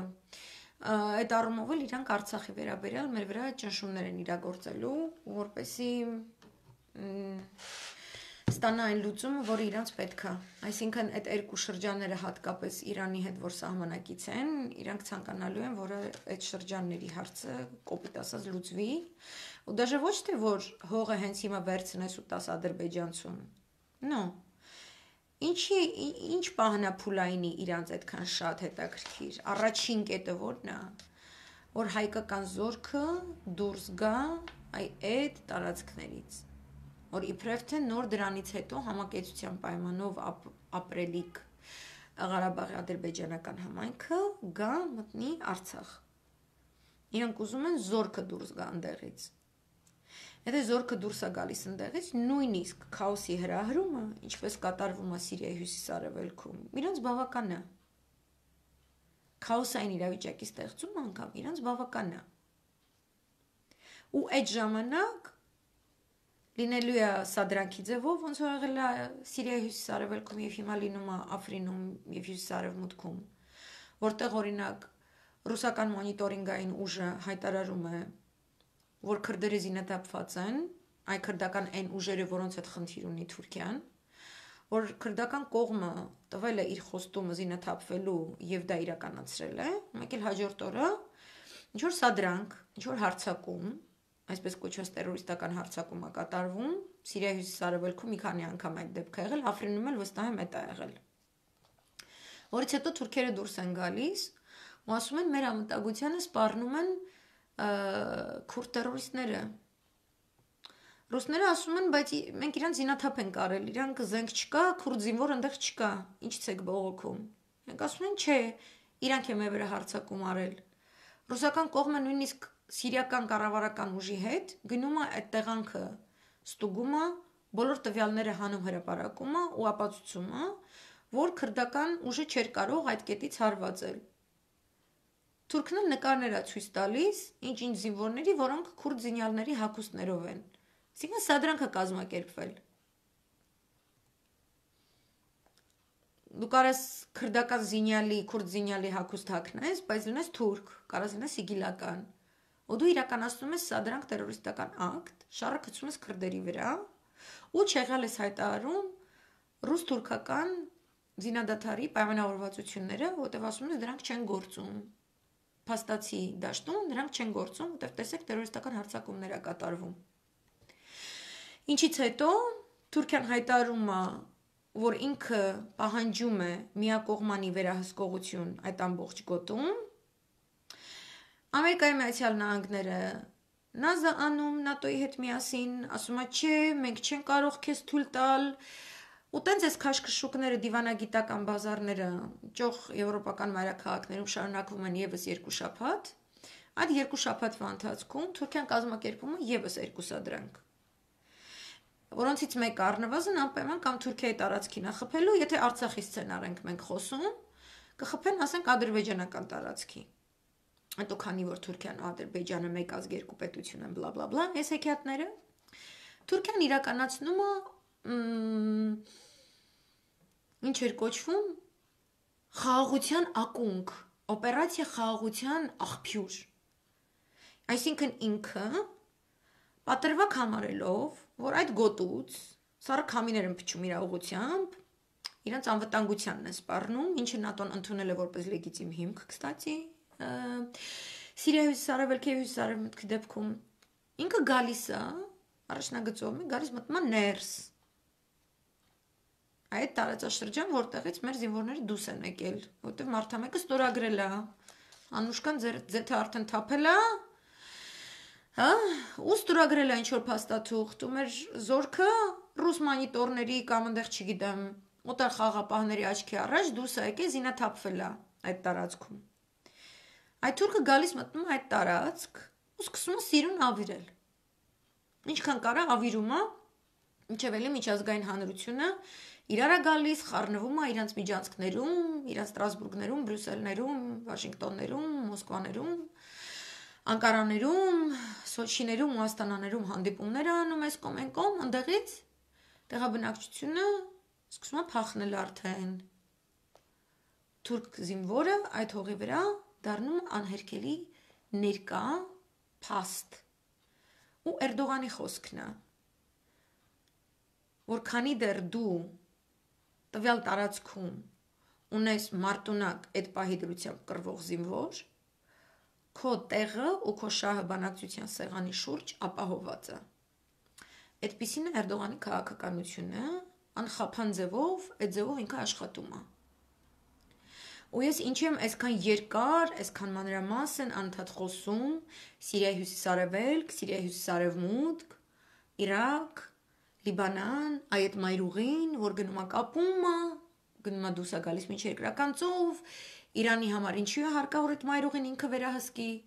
Ռուսաստանի Դաշնության համար ինչու է կարևոր, որ ինքը գոնե մի քանի կետերի վրա այդ մայրուղիների վրա վերահսկողության կետեր ունենա, որ իմանան ով ինչքան զորք ուրա տանում, ինչ քանակությամբ, ով ինչքան նավթի կոնտրաբանդա է վաճառում, ապօրինաբար Սիրիայի հյուսիսային արևելք, հյուսիսարևելքից ապօրինաբար շահագործված որպեսի կարողանան իրանք պատերազմական մանևրերին պատրաստ լինել։ Այս նույն պատմությունը կկրկնվի նաև Արցախում, եթե մենք զգոն չլինենք Արցախյան հիմնախնդրի վերաբերյալ։ Ինչի համար ես անում եմ կշերվա հազարի լայվը։ Որտեվ ես պրինցիպի չեմ կարում, ես խնդրի պատճառով ես չեմ կարում, ինձ հանգիստ գնամ քնեմ էլի, անհնար է դա։ Բայց սրտիկներ բաներ ենք դնում, փիսիկներ, միսիկներ, բայց Խնդիրը մնում է այն, որ թուրքական ռազմական դիվանագիտությունը կոնկրետ աշխատում է այս ուղությամբ ու արդեն իսկ Մոսկվայից հայտարարել են, որ օրինակ Իդլիբի կապակցությամբ որ պետքա լիներ հերահար հանդիպում Թեհրանի, Անկարայի եւ Մոսկվայի միջև Աստանայի ֆորմատով դա չի կայանալու, հələ որ չգիտեն երբ է կայանալու, ոչ մի կողմ ամսաթիվ չի տալիս, փոխարենը այսօր մենք լսեցինք Մարիա Զախարովայի բողոք հղումը թուրքական կողմին իրենց պահվածքի համար Սիրիայի հյուսիս-արևմուտքում։ Վոլա, ուրիշ ինչ էլ ա եղել։ Ուրիշ, չէ, թեման չգիտեմ հիմա խոսամ, թե հետո խոսամ։ Ինչ է ուզում ասել, քանի որ Բիլ Գեյթսի թեմայով շատ են ինչ որ մարդիկ այտենց ընթարցակվում եւ այլն եւ այլն։ Ես դες ուզում եմ բացատրեմ մի հատ հետաքրքիր բան։ Ուզում եմ Բիլ Գեյթսը լինի ուզում է Տրամպը լինի ամերիկյան հատուկ ծառայությունների գումարած այն տրանսնացիոնալ հետաքրքիր կաբալի ներկայացիչ կորպորացիաների ֆարմացևտիկա սնունդ եւ այլն եւ այլն զենք բանկային համակարգ հետաքրքիր իրենք միևնույնը իրականացնելու են իրանց ծրագիրը ես գտնում եմ որ լիքը մարդիկ շատ հրապուրիչ խայծ են կուլ տվել ամբողջովին իրենց ուշադրությունը հառելով Bill Gates-ի կերպարի վրա։ Շատ հետաքրքիր է, որ դες թվում է, որ Bill Gates-ը կամ նույն Zuckerberg-ը կամ նույն Elov Kandeh, Steve Jobs կինոարտադրության մեջ Stanley Kubrick-ները տենց փորձում սաղի աչքերը բացել, տենց մի երկու շատ խորը լայվ ունեն, որոշ մարդիկ նաև ոգևորվել են, իրենց թվացել է իրանք վсё, դրախտի թրջունին գցել են, հեսա կգնան իրանք ծտեր կդառնան, anyways։ Այս բոլոր կերպարներին, երբ որ սարքում են գրուշը, որոնց պետքա խփել այս կոմ են կոմ, այդ կատարվում է հատուկ ձևով Այդ կատարվում է, որովհետև այդ ընկերությունները, երբ որ նման հետազոտություններ են իրականացնում, դա լինի չիպերը թե ավելի վատ բաներ շատ ավելի վատ բաներ կան, որոնցից դուք տեղյակ չեք, բայց երբեք լայվերով չեմ խոսալու, որտեղ սկսում եք շպիոնների տիտղոսներ տալ։ Մեկ, երկրորդը վերցնում եք այդ գաղափարները ու ապակողնորոշող լայվեր եք անում։ Չեմ խոսալու այդ մնացած պրոյեկտների մասին։ Բայց ասեմ ձեզ նպատակը տիեզերքն է։ Ուրիշ բան չեմ ասի, չեմ տիեզերքը ու ընդերքը, շատ ընդերքը։ Իրենք երբեք այդ ծրագրերը չեն մշակի, եթե պաշտպանական համակարգի պետպատվեր չկա կամ չերես մասնավոր միջնորդ լվացված պետպատվեր, այսպես կոչված սև բյուջետային ծրագրերով որոնք հսկայական են ծավալով ու չկա ոչ մի հայկական հաստատություն, որը ամբողջովին ընկալում է այդ սև բյուջե կոչող, է կոչվում է black budget projects Այսինքն պրոյեկտներ, որոնց վրա միլիարդներ, տրիլիոններ է ծախսվում, ու որոնք ոչ միտեղ չպետք է հայտարարագրվեն, թե որքան գումար է ծախսվել, ինչի համար, ինչպիսի տևողությամբ, ինչպիսի արդյունքներ է ունեցել։ Մեկ վարքյան, այստեղ բատարիա վերջանում, բնականաբար ոչ իմ, այլ այս չինական կենթանում։ Այսինքն Հիմա որ այս կերպարին դրել են ձեր արչև ու դուք այտենց խփում եք ու դուք ողքեվորվում եք իբր թե եսի ինչ եք գտել, դուք միևնույն ժամանակ առաջ եք տանում դավադրության տեսությունների դաշտից այնպիսի տեսություններ, որոնք օգտագործում է Թրամփի նախընտրական ամբողջ շտաբը, որոնք տեսություններ են, որոնք գոյություն ունեցել առնվազն 20 տարի, առնվազն Եվ իրանք իսկական իրա, իս, իսկապես շատ դաժանագույն գործերի վերաբերվող թեորիաներ են։ Շատ հետաքրքիր է։ Օրինակ ստորգետնյա բազաներում երեխաների դեմ շատ վատ հանցագործություններ կատարելով որոշակի հետազոտական տվյալներ ձեռք բերել Դրանք ոչ թե կատարվում է ինքնանպատակ միայն երեխաների սրբապղծությամբ զբաղվելու համար։ Դրանք շատ ավելի sinister հայերեն ոնց է, շատ ավելի մութ նպատակներ են հետապնդում։ Կամ որոշակի տարածքների, որոնք ստորգետնյա բազաներ են, որոնք ուսումնասիրում են կոպիտ ասած, չգիտեմ էլ ոնց ասեմ, այլ քաղաքակրթություններ ոչ ոք ամբողջովին չի տիրապետում այս ծրագրերով որևէ ամբողջական տվյալների։ Բայց այդ նույն Տրամպը, որի նախընտրական շտաբը օգտագործում է այս թեորիաները, ինքն է եղել են մարդը, որը Բիլ Գեյթսին հրավիրել է, որպեսի Բիլ Գեյթսը դառնա Սպիտակ տանը գիտական հարցերով խորհրդատու մենք չպետք է կուլ տանք հանրապետականներ, դեմոկրատներ այս բազարի խայծը։ Մենք պետք է հասկանանք, որ անկախ նրանից Տրամփն է իշխանության, թե չերես Բիլ Գեյթս լվացված փողերով իշխանության եկած դեմոկրատները, իրենք շարունակելու են այդ ծրագրերը, ինչպես որ միշտ են շարունակել այն նպատակներով, որի մասին ես խոսել եմ Կոնստանտինոպոլիսի հոգևոր արժե համակարգի վերաբերյալ լայվում։ Ես խնդրում եմ ով ով այս լայվը լսում է, դուք ինքնահաստատվող լայվեր չանեք։ Դուք մի քիչ այտենց փորձեք հասկանալ, որ կան պերսպեկտիվաներ, որոնց մասին դուք կարողա տեղյակ չլինեք։ Որ կա տենց բան, որ կարողա դուք պրոստը այդքան էլ տեղյակ չեք։ Դրանով ոչ մի վատ բան չկա։ Ու անznավորված հարցակման չգնաք ոչ Bill Gates-ի դեմ, ոչ չգիտեմ ինչի դեմ, որտեվ հաշիվ չի ինքը։ Նանոտեխնոլոգիաների, կլոնների ստեղծման, գենոմոդիֆիկացիայի, ոչ միայն սննդի միջոցով, այլ մարդու գեների հետ խաղալու, ահավոր ստորագույն պրոյեկտներ անելու նպատակները միշտ եղել են արկա 17 տարբեր հետախուզական ծառայությունների հիման վրա իր ներքին անվտանգությունը ապահովող Ամերիկայի Միացյալ Նահանգներում, ինչի շնորհիվ ինքը կայսրություն է։ Ես հստակ ձևով ներկայացրել եմ հատուկ մի լայվում, խոսել եմ այսպես կոչված Operation Paperclip-ի մասին։ Ես շատ եմ վիրավորվում, երբ որ մակերեսային ձևով եք անդրադառնում այ այդ հետաքրքիր երևույթների մասին, որոնք ես հետազոտել եմ շատ երկար տարիներ, գլուխ գովալու համար չեմ ասում։ Այլ այն ցավը, որ դուք կզգաք այն հսկայական դավադրությունների վերաբերյալ, որոնք կատարվում են այս կամ այն պետության դեմ, ես դրանք այսպես կաշի ոսկորով զգացել եմ, ու ես դա չեմ էլ թաքցնում։ Համար դա շատ հուզիչ դա ինչ որ արել են շատ անաստված բան է։ Operation Paperclip-ի մեջ լայվում ես դες բացատրել էի, որ նացիստական Գերմանիայի անկումից հետո առնվազն 800 թղթի վրա հայտարված է 800 գիտնականներ, իրականում շատ ավելի մեծ թիվ է եղել 3500-ից 4000, ընդ որում այս թիվը հրապարակվել է Քլինթոնի օրոք 95 թվականին։ Թիվն է հայտնի եղել, իսկ անուններ, ֆունկցիաներ դեռևս համարվում են կոնֆիդենցիալ ինֆորմացիա, սևով աներկված։ Այս գիտնականներին տեղափոխել են Ամերիկայի Միացյալ Նահանգներ, որտեղ իրենց տվել են նոր անուններ եւ իրենց մեծ մասին ներգրավել են ազգային անվտանգության համակարգի ստեղծման եւ այդ համակարգի ներսում կատարվող գիտահետազոտական պրոյեկտներում։ Այսինքն այն ապամարտկային գործունեությունը, որոնք տնօրինել են այդ գիտնականները նացիստական Գերմանիայում իրենք շարունակել են իրականացնել Ամերիկայի Միացյալ Նահանգներում։ Եվ ստեղծվել է այդ իլյուզիորական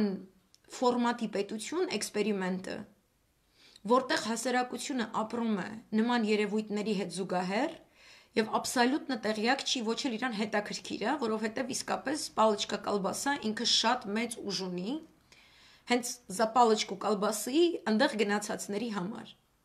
Ես դա կոպիտ իմաստով չեմ ասում, այնտեղ մարդիկ սամարիալիզացիան գումարային առումով որ իրականացնում են, հենց դա էլ իրենց խոստանում է այդ երկիրը, հենց դրա համար իրան գրում են, դրա համար իրան դրանից բացի ուրիշ բան հետաքրքիր չի։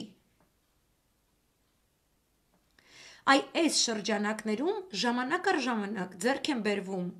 այնպիսի գիտահետազոտական նվաճումներ, որոնք հետո massայական կենցաղի մեջ են ներմուծվում Եթե դուք մտածում եք, թե չիպերով են ձեզ կառավարելու, ես ձեզ մի քիչ դժնդակ լուրեր ունեմ, դուք վաղուց կառավարվում եք, ամբողջ աշխարհը վաղու 5 դարերից սկսած, դաժե ինքը կառավարվում է։ Չիպերից եք խոսում, չգիտեմ ինչերից եք խոսում։ Ռուսաստանի Դաշնություն, Չինաստան, Իրան, Հնդկաստան, մի շարք այլ երկրների քաղաքակրթական պայքարը ես ներկայացրել եմ հենց այդ տեսլականով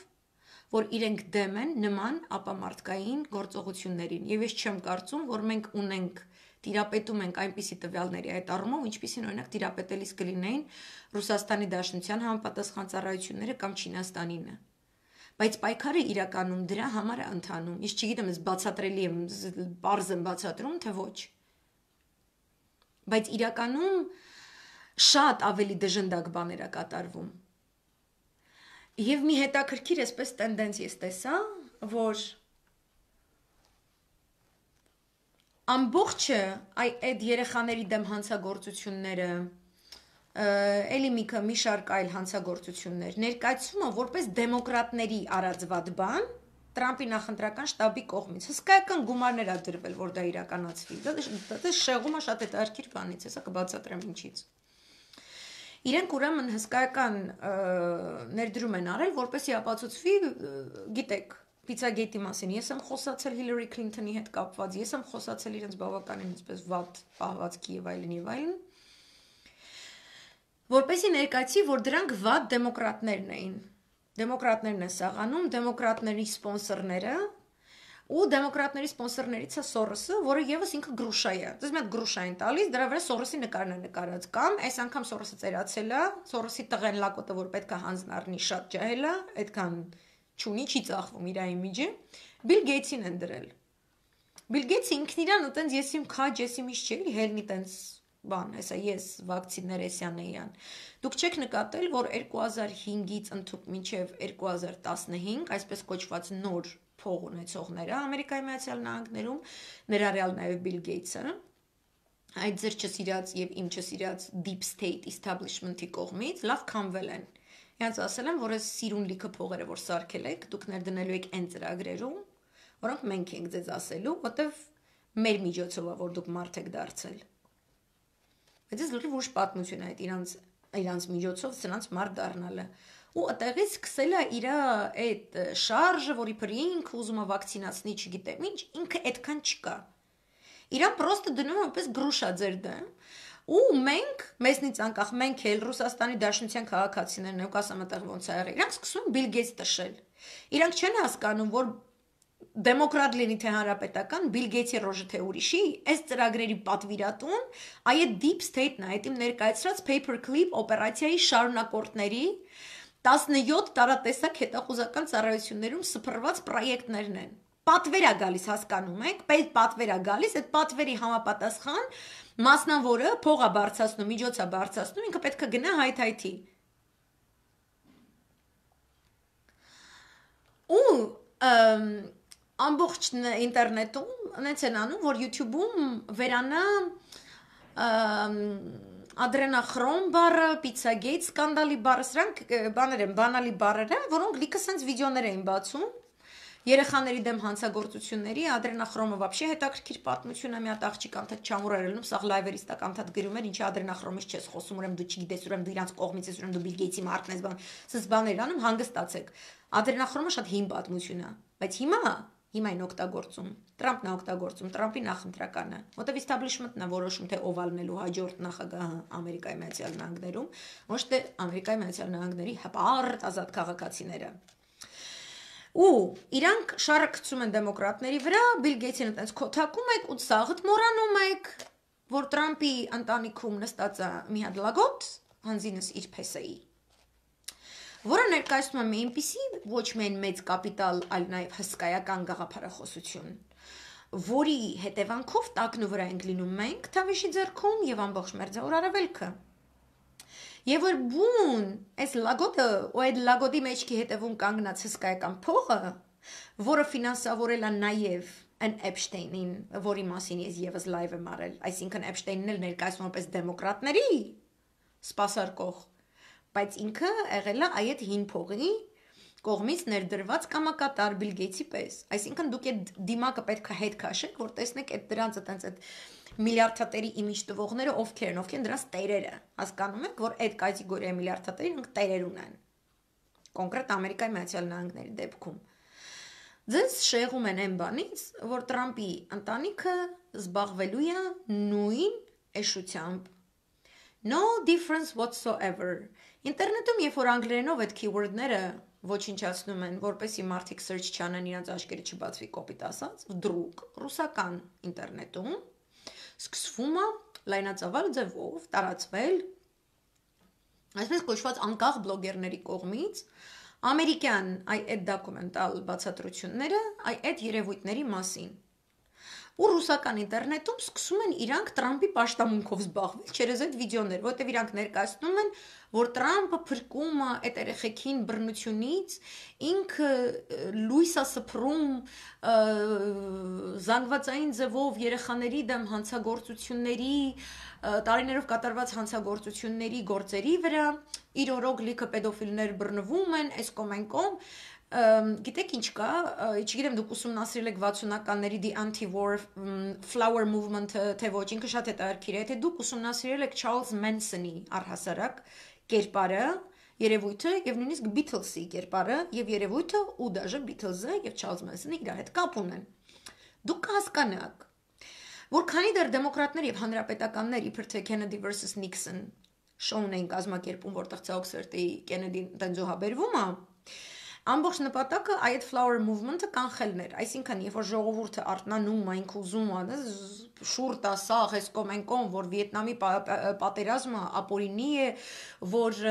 մարդիկ պետք է սիրով ապրեն, որ այսպես եւ այնպես քրիստոնեական արժեքներ եւ այլն եւ այլն, ապա այդ իմ ասած Operation Paperclip-ի magic ճանապարհով Ամերիկայում անվտանգության համակարգ ստեղծած դյադյաները եւ տյոտյաները, որոնց անունները ու տեսքերը դուք չգիտեք, իրանք կազմակերպում են հետաքրքիր օպերացիա առ այն, որ այն ձեռքը, որը չես կարող ջարդել, պետքա դնես գլխիդ ու շոյես։ Ու իրենք կարողանում են ներթափանցել flower movement-ի մեջ, դա վերածելով մանրից այսպես սեկտանտային ինչ-որ մի համակարգի, եւ իրականացնելով որոշակի սոցիալական ինժեներության պրոյեկտներ, որտեղ իրենց պետք է գալիս Չարլզ Մենսոն երևույթը։ Այդ համակարգերը, այդ 17 հետախուզական ծառայությունները իրենց ամբողջ ռեզոնդետ խնայ է, որպեսի իրենք անկախ նրանից դուք դեմոկրատիա կուզեք, դուք դեսպոտիզմ կուզեք, դուք ինչ կուզեք, կարևոր չի իրանց։ Իրանք պետք է կարողանան կոլեկտիվ գիտակցականի կառավարման համակարգի թելադրողները լինեն։ Իրանք պետք լինեն, որ որոշում են ու ներթափանցում են։ Ու այս մեր ժամանակաշրջանում կատարվող դրանից ոչինչով չի տարբերվում։ Իսկ այն որ ասում եմ չիպավորումը հիմա չի լինելու, Դա նրա համար եմ ասում, հատկապես Աստվածաշունչ կարդացած ու Աստվածավախ մարդկանց համար, որ չիպիզացիան կատարվելու է այն ժամանակ, երբ որ Երուսաղեմը արդեն գտնվում է անտիխրիստի իշխանության տակ։ Իսկ անտիխրիստը դա մի բան է, որը գալիս է իշխանության, որովհետև մարդիկ իրան դնում են Խրիստի տեղ։ Տրամփ են պաշտպանում, Տրամփի փեսա են պաշտպանում, չէ՞ հետարքիր կերպարներ են պաշտպանում, որտեղ այդ կերպարը լավ բաներ է ասում։ Ինքը դեմ այդ հանցագործություններին, ինքը դեմ ավաշխարում համակարգին, բլա բլա բլա։ Եվ որ անտիխրիստը գալիս է ու Երուսաղեմում տաճարը վերակառուցվում է, որտեղից ինքը պետք է իշխի։ Ինքը այնտեղ նստած նոր ասում է, այ հիմա սաղին չիպավորեք։ Այդ վաղ սաղդ կարեք չիպավորվելու մասին լայվեր անեք։ Այն որ հիմա Bill Gates-ն խոսում, այն որ չգիտեմ ինչ, այդ սաղ նախընտրական բազարի շուխուրը։ Ու աբսոլյուտ նկապ չունի ով է գալու իշխանության, նորից եմ կրկնում։ Լինելու է Bill Gates-ը թե Jared Kushner-ը, իրանք միևնույնը հակամարտկային ծրագրերը շարունակելու են։ Ու ես չեմ ասում, որ մենք հուսահատվենք, որ մենք դրա դեմ ոչ մի ուժ չունենք, ոչ մի միջոց չունենք այս կոմեն կոմ, այլ հատկապես որ Աստվածավախ մարդիկ են դրա մասին խոսում կամ Աստվածաշնչի։ Աստված ասում է, որ դուք չեք կարող մարգարեություններ անել ու ասել ամսի քանիսին ինչ արնելու։ Ու այդ էսկատալոգիայի մեջ թե քրիստոնեական եւ թե իսլամական այնտեղ էլ չկա ամսաթիվ, բայց այնտեղ կա իրադարձությունների հաջորդականություն։ Դուք ընդունելու եք ultimate evil, հա? Չարագույնին ընդունելու եք որպես բարեգույն, ու դուք իրան նստեցնելու եք Երուսաղեմում գահին ինքը ձեզ բոլորից սկսելու է не то что չիպավորել Սաղը զոմբիանալու եք, այս սաղ գունավոր հեղափոխությունները կոլեկտիվ զոմբիացման ռեպետիցիաներ էին։ Սաղ աշխարհը ասել, «Հա, ինքը մեզ փրկեց այս կոմենկոմ»։ Բայց ես այն Կոնստանտինոպոլիսի լայվի մեջ ու այն Վատիկանի մասին լայվի մեջ ես ես ներկայացրել եմ, որ ուղափար շիիտական եւ կաթոլիկ մարգարեությունների մեջ ասվում է, որ անտիխրիստի դեմ պետք է անտիխրիստը գա, որպեսի իր դեմ գա Խրիստը։ Ու ինքը կարա գա, երբ որ Կոստանդինոպոլիսում Այե Սոֆիայից կհնչի քրիստոնեական աղոթք, որ այդ հավիտենականության քաղաքը ի սկզբանե կառուցվել է այդ նպատակի համար։ Եվ երբ որ մեզ վերացրեցին, մեզ էլ հույներին էլ, սերբերին էլ, առհասարակ բնիկ արամեացի, նա քրիստոնյաներին սունիտական օսմանական եւ վահաբիստական իսլամը ցանկանում է կանխել այդ մարգարեության իրականացումը չկա քրիստոնյան Չկա քրիստոնյայի հավիտենական քաղաքը։ Չկա քրիստոնյան Կոստանդինոպոլիսում, չկա քրիստոնեական աղոթք Այա Սոֆիայում։ Չկա քրիստոնեական աղոթք Այա Սոֆիայում, չկա Խրիստոս, որը պայքարելու է անտիխրիստի դեմ։ Ու այդ չիպավորվածները անտիխրիստի կողմից իրանք դեմ են լինելու բոլոր քրիստոնյաներին։ Մի հետաքրքիր հետազոտություն, որ Բիլ Գեյթսը կատարել է ոչ թե իր գլխից հանած, այլ ինքը կատարել է Պենտագոնի պատվերով, ինքը պրեզենտացիա է կատարել իր սիրած վակցիններից մեկը նա է, որտեղ ինքը հետազոտում է մարդու ուղեղի այն հատվածը, որը գտնվում է աղոթքի մեջ, որոշակի վիբրացիայի մեջ։ Մենք երբ որ աղոթքի մեջ ենք, հավատող մարդը, հավատացող մարդը, երբ որ աղոթքի մեջ է, իր ուղեղի ցալքերից վերանում է ստրեսը, վերանում է հուսալքությունը, վերանում է անկճախտը։ Իր մոտ այնքան ուժեղ է հավատքը, ինքը հասկանում է, որ ինքը պետք է անհատական մտածելակերպ ունենա իր կյանքում, դա նշանակում է ինքը երբեք չպետք է զոմբիանա։ Ինքը պրեզենտացիա անում, որտեղ ինքը ցույց է տալիս ուղեղի այ այդ տարածքը, որը մաքսիմալ փաստորեն ներդաշնակության է բերում մարդու ուղեղը։ Ու ինքը տենց վակցինա մտածում, որ թիրախավորում է ուղեղի այդ հատվածը, մեկ ընդմիշտ։ Ինքը դա կոչվում է կոչվում է պրոգրեսի պայքար ընդդեմ աստվածավախության հետամնաց ու չգիտեմ ինչ, բայց ես ձեզ ուզում եմ sense նամյոկ եմ էլի պրոստը անում, որ դուք հասկանաք, որ այ այդ պրեզենտացիան կատարվում է ամերիկյան պենտագոնի համապատասխան ստորաբաժանման դիմաց գեներալիտետ նստած լսում է ինքը ոնց է վակցինացնելու ինչ որ մի ազգ որը այլևս այդ վակցինայից հետո աստուն չպետք է հավատա գենային մակարդակով ու իրանք հատկապես մտածում են մերձավոր արևելքի մասին որտեղ միայն քրիստոնյան չի պայքարում այդ Քրիստոսի գալու համար։ Մուսուլմանն էլ է պայքարում, հрьяանել է պայքարում, Եթե չկա մարդու մեջ այդ հավատքը, Քրիստոսը չի կարողանալու գա։ Եթե դու չես աղոթում, ոնց ասեմ, կոպիտ դու հորը չես ասում, ինչ խնդրեմ ունես, քո հայրը չի կարա գա քեզ օգնի։ Եթե դու հրեշտակներին չես ասում, ինչի համար ես իրանից օգնություն ուզում, չի կարա գա քեզ օգնի։ Այս ամեն ինչը կատարվում է դրա համար, ինքը ավելի խորն է։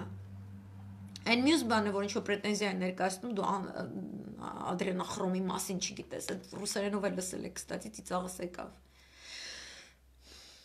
Ադրենախրոմ կոչվածը ինքը մի հատ էսպես նարկոտիկ է, ամենաթանկ նարկոտիկն է։ Ես երբեք չեմ տեսել, ես չգիտեմ, ես կարդացել եմ, տեսել եմ։ Ու ասում եմ, դավադրություն տեսություններից մեկն է, բայց ես իրա վերաբերյալ ուրիշ ապացույցներ ունեմ կոպիտ ասած։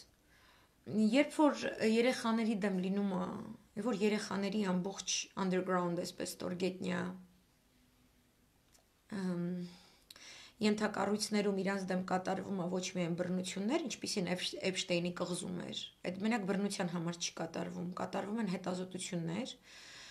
Հետազոտություններից մեկն է նաև օրինակ մարդու ուղեղը, մարդու ինքնությունը, մի քանի ինքնությունների բաժանելու process։ Այնպես որ մեկ մարդու մեջ ոնց որ 16 հոգի ապրի, դու 16 հոգուց մեկին կարաս հատուկ կոդով կամ գունային կոմպոզիցիայով դու կարաս իրան առաջ բերես, օրինակ իրա մեջ կարա ապրի մարդասպան, իրա մեջ կարա ապրի ինֆորմացիա տանող բերող, իրա մեջ կարա ապրի, չգիտեմ, լուբոյ բան մտածեք։ Դու մարդասպանին ուղարկում ես, դու բերում ես մարդասպանին առաջնային ինքնություն որպես ուղարկում ես ինչ որ միսիայի, ինքը դա կատարում է, որից հետո կոդային բառով դու իրան հետ ես քշում այդ ինքնությունը, մի հատ ուրիշ խոսքի տնային տնտեսուհի ես առաջ բերում, որը աբսոլյուտնե չի հիշում, ինքը դաժե խաբար չի, որ ինքը մարդ է սպանել։ Դուրան կարաս բռնես, հարցակնես, ինչ ասես անես, ինքը ինքը չի հիշում։ Ինքը ինքը չի հիշում, որ ինքը կենեդու խոսքի խփես սպանել է բանը, ինքը չի, ինքը ուրիշ կերպար է։ Anyway, էս էս ուրիշ պատմություն է, բայց այդ երեխեքին տոյս դրա համար են օգտագործում։ այս ամբողջ հետազոտությունները կատարվում է որպեսի նու տեղյակ եք նացիստները ինչերով են զբաղվելուց եղել նաև տեղյակ եք որ նացիստները արյուն էին հանում երեխեքից չէ հիմա երեխեքին վախացնում են ինչ որ սաստանիայի մեջ իրանց ողջ եղած ժամանակ շատ կներեք ուսած գրաֆիկ բաներ են պատմում իրանցից արյուն են վերցնում ու քանի որ իրանց ադրենալինը շատ է բարձրանում ավելի շատ քան մեծահասակինը չափահասինը կլիներ այդ ադրենախրոմը այդ տարը ավելի շատ է լինում ու տենց ներկայացնում որ ամբողջ էլիտան հետո տենց տաբլետկաներ են սարքում այդ արյունից չէ տենց փոշիացնում են ու չգիտեմ ինչ ու այդ ամբողջ էլիտան այդ տաբլետկաներով է սնվում շատ թանկ դեղ է որով իրանք տենց в общем ջահելը ներևում, չգիտեմ ինչ է ներևում եւ այլն եւ այլն, որ դա պահանջված է, ու էլի դա ներկայացվում է որպես հոլիվուդյան աստղերի, այնտեղ դեմոկրատների, էլիտայի, այտենց ինչ որ տենց զբաղմունք, որ իրանք մենակ դրա համար են անում։ Ինքը շատ ավելի, вообще մարդկային արյունը այնց հետազոտությունների է ենթարկվում այդ աստիճանների կողմից։ Ինքը մենակ ադրենախրոմի մասին չի։ Ինքը մենակ պիցագետի մասին չի։ Դրանք տեղայնացված ռեպետիցիաներ են, կոպիտ ասած ճակերտավոր, թե ինչպես են կառավարելու ամբողջ աշխարհի հասարակությանը։ Այդպիսին էր նացիստների նպատակը նաև։ Որտեւ եթե դու ունես ամբողջովին կառավարելի մեկ ուժային կենտրոնից, մեկ մտածելակերպով, մեկ լեզվով, մեկ դրամանիշով թվայնացված, հա, համակենտրոնացման ճամբարներում էլ են թվեր տած խփում հասարակություն, դու հանգիստ կարաս ընդ զոմբիներին թողես այս երկիր մոլորակի վրա, գնաս այնտեղ Մարսը քչփորես, չգիտեմ, լուսնի վրա մի երկու հատ բազա տեղաբնակների հետ այնտեղ բանակցություններ վարես, բազաներից կարողանաս օգտվել, բան ոչ մեկից չկիսվես, որտեղ ոչ մի ազգ չի մնացել։ Այդ է Բաբելոնի աշտարակաշինությունը։ Հասնում ես տիեզերքին, տիեզերք հասնելու համար դու պետք է Աստված դառնաս։ Աստված դառնալու համար նշանակում է իրանց առումով, էլի չաստվածը դա ավելի ճիշտ։ Այդտենց կառավարելի հասարակություն։ Ինքը չաստված է, որտեղ ինքը դա անում է հանուն ռեսուրսների։ Իսկ արյան առումով ու երեխեքի դեմ կատարված այդ ամեն ինչի առումով, առհասարակ մարդկանց դեմ արված ամեն ինչի առումով, դա ոչ թե կատարվում է արյուն կամ ձեզ չիպավորեն, մենակ դրա համար չի կատարվում։ Այդ նախ եւ առաջ իր հիմնական նպատակը մարդու ներսի հոգու լույսը, այսինքն այն ինչ որ սուրբ հոգին է, ինչ որ աստվածատուր է, Աստված ձեզ հոգու շող է տալիս։ Ինքը ոչ թե քո ֆիզիկական մարմինն է, ինքը այդ Աստծո լույսն է, որը քեզ դարձնում է կենթանական աշխարհից բարձր կերպար։ Ինքը քեզ դարձնում է հրեշտակային դասից բարձր կերպար, Աստծո ամենահարազատ զավակը։ Իրանք այդ պրոցեդուրաները, որոնք պատահաբար չի, որ սատանիստների մոտ որոշակի ռիտուալներ կան։ Դրանք կատարվում են, որպեսի մարդու հոգին վերանա, Որտեվ այս ամբողջ տիեզերքը առհասարակ ինքը լույսի ու մութի միջև կռիվ է։ Ու մենք էլ ենք ստեղ, որպեսի այդ լույսի անունից մենք էստեղ ենք, որպեսի մութի անունից էստեղ եղողների դեմ կռիվ տանք։ Թե հոգևոր դաշտում, թե մտային դաշտում, թե ֆիզիկական մարմնով հանուն այդ ամեն ինչի զոհվելու պատրաստ լինենք, որտեվ իրականում չես զոհվում, իրականում հոգիդ միանում է հորդ, եթե դու ճիշտ ես ապրել։ Եթե դու չես թողել, որ այդ լույսը քո մեջ մարի։ Եթե դու չես ընկճվել, դու չես ուսահատվել, դու չես փոխել քո հավատքը։ Ու իրանք փնտրում են հոգին, իրանք մարդու արյան մեջ փնտրում են հոգու կոդը։ Իրանք Աստծո կոդն են փնտրում։ Ու էլի ես դա չեմ ասում, որ ինչ որ մեկը վախենա։ Աստված մի լուծում է տալիս սրան, ասում է դու պետքա պրոստը հավատաս Աստծուն ու պատվիրաններով մարդ մնաս։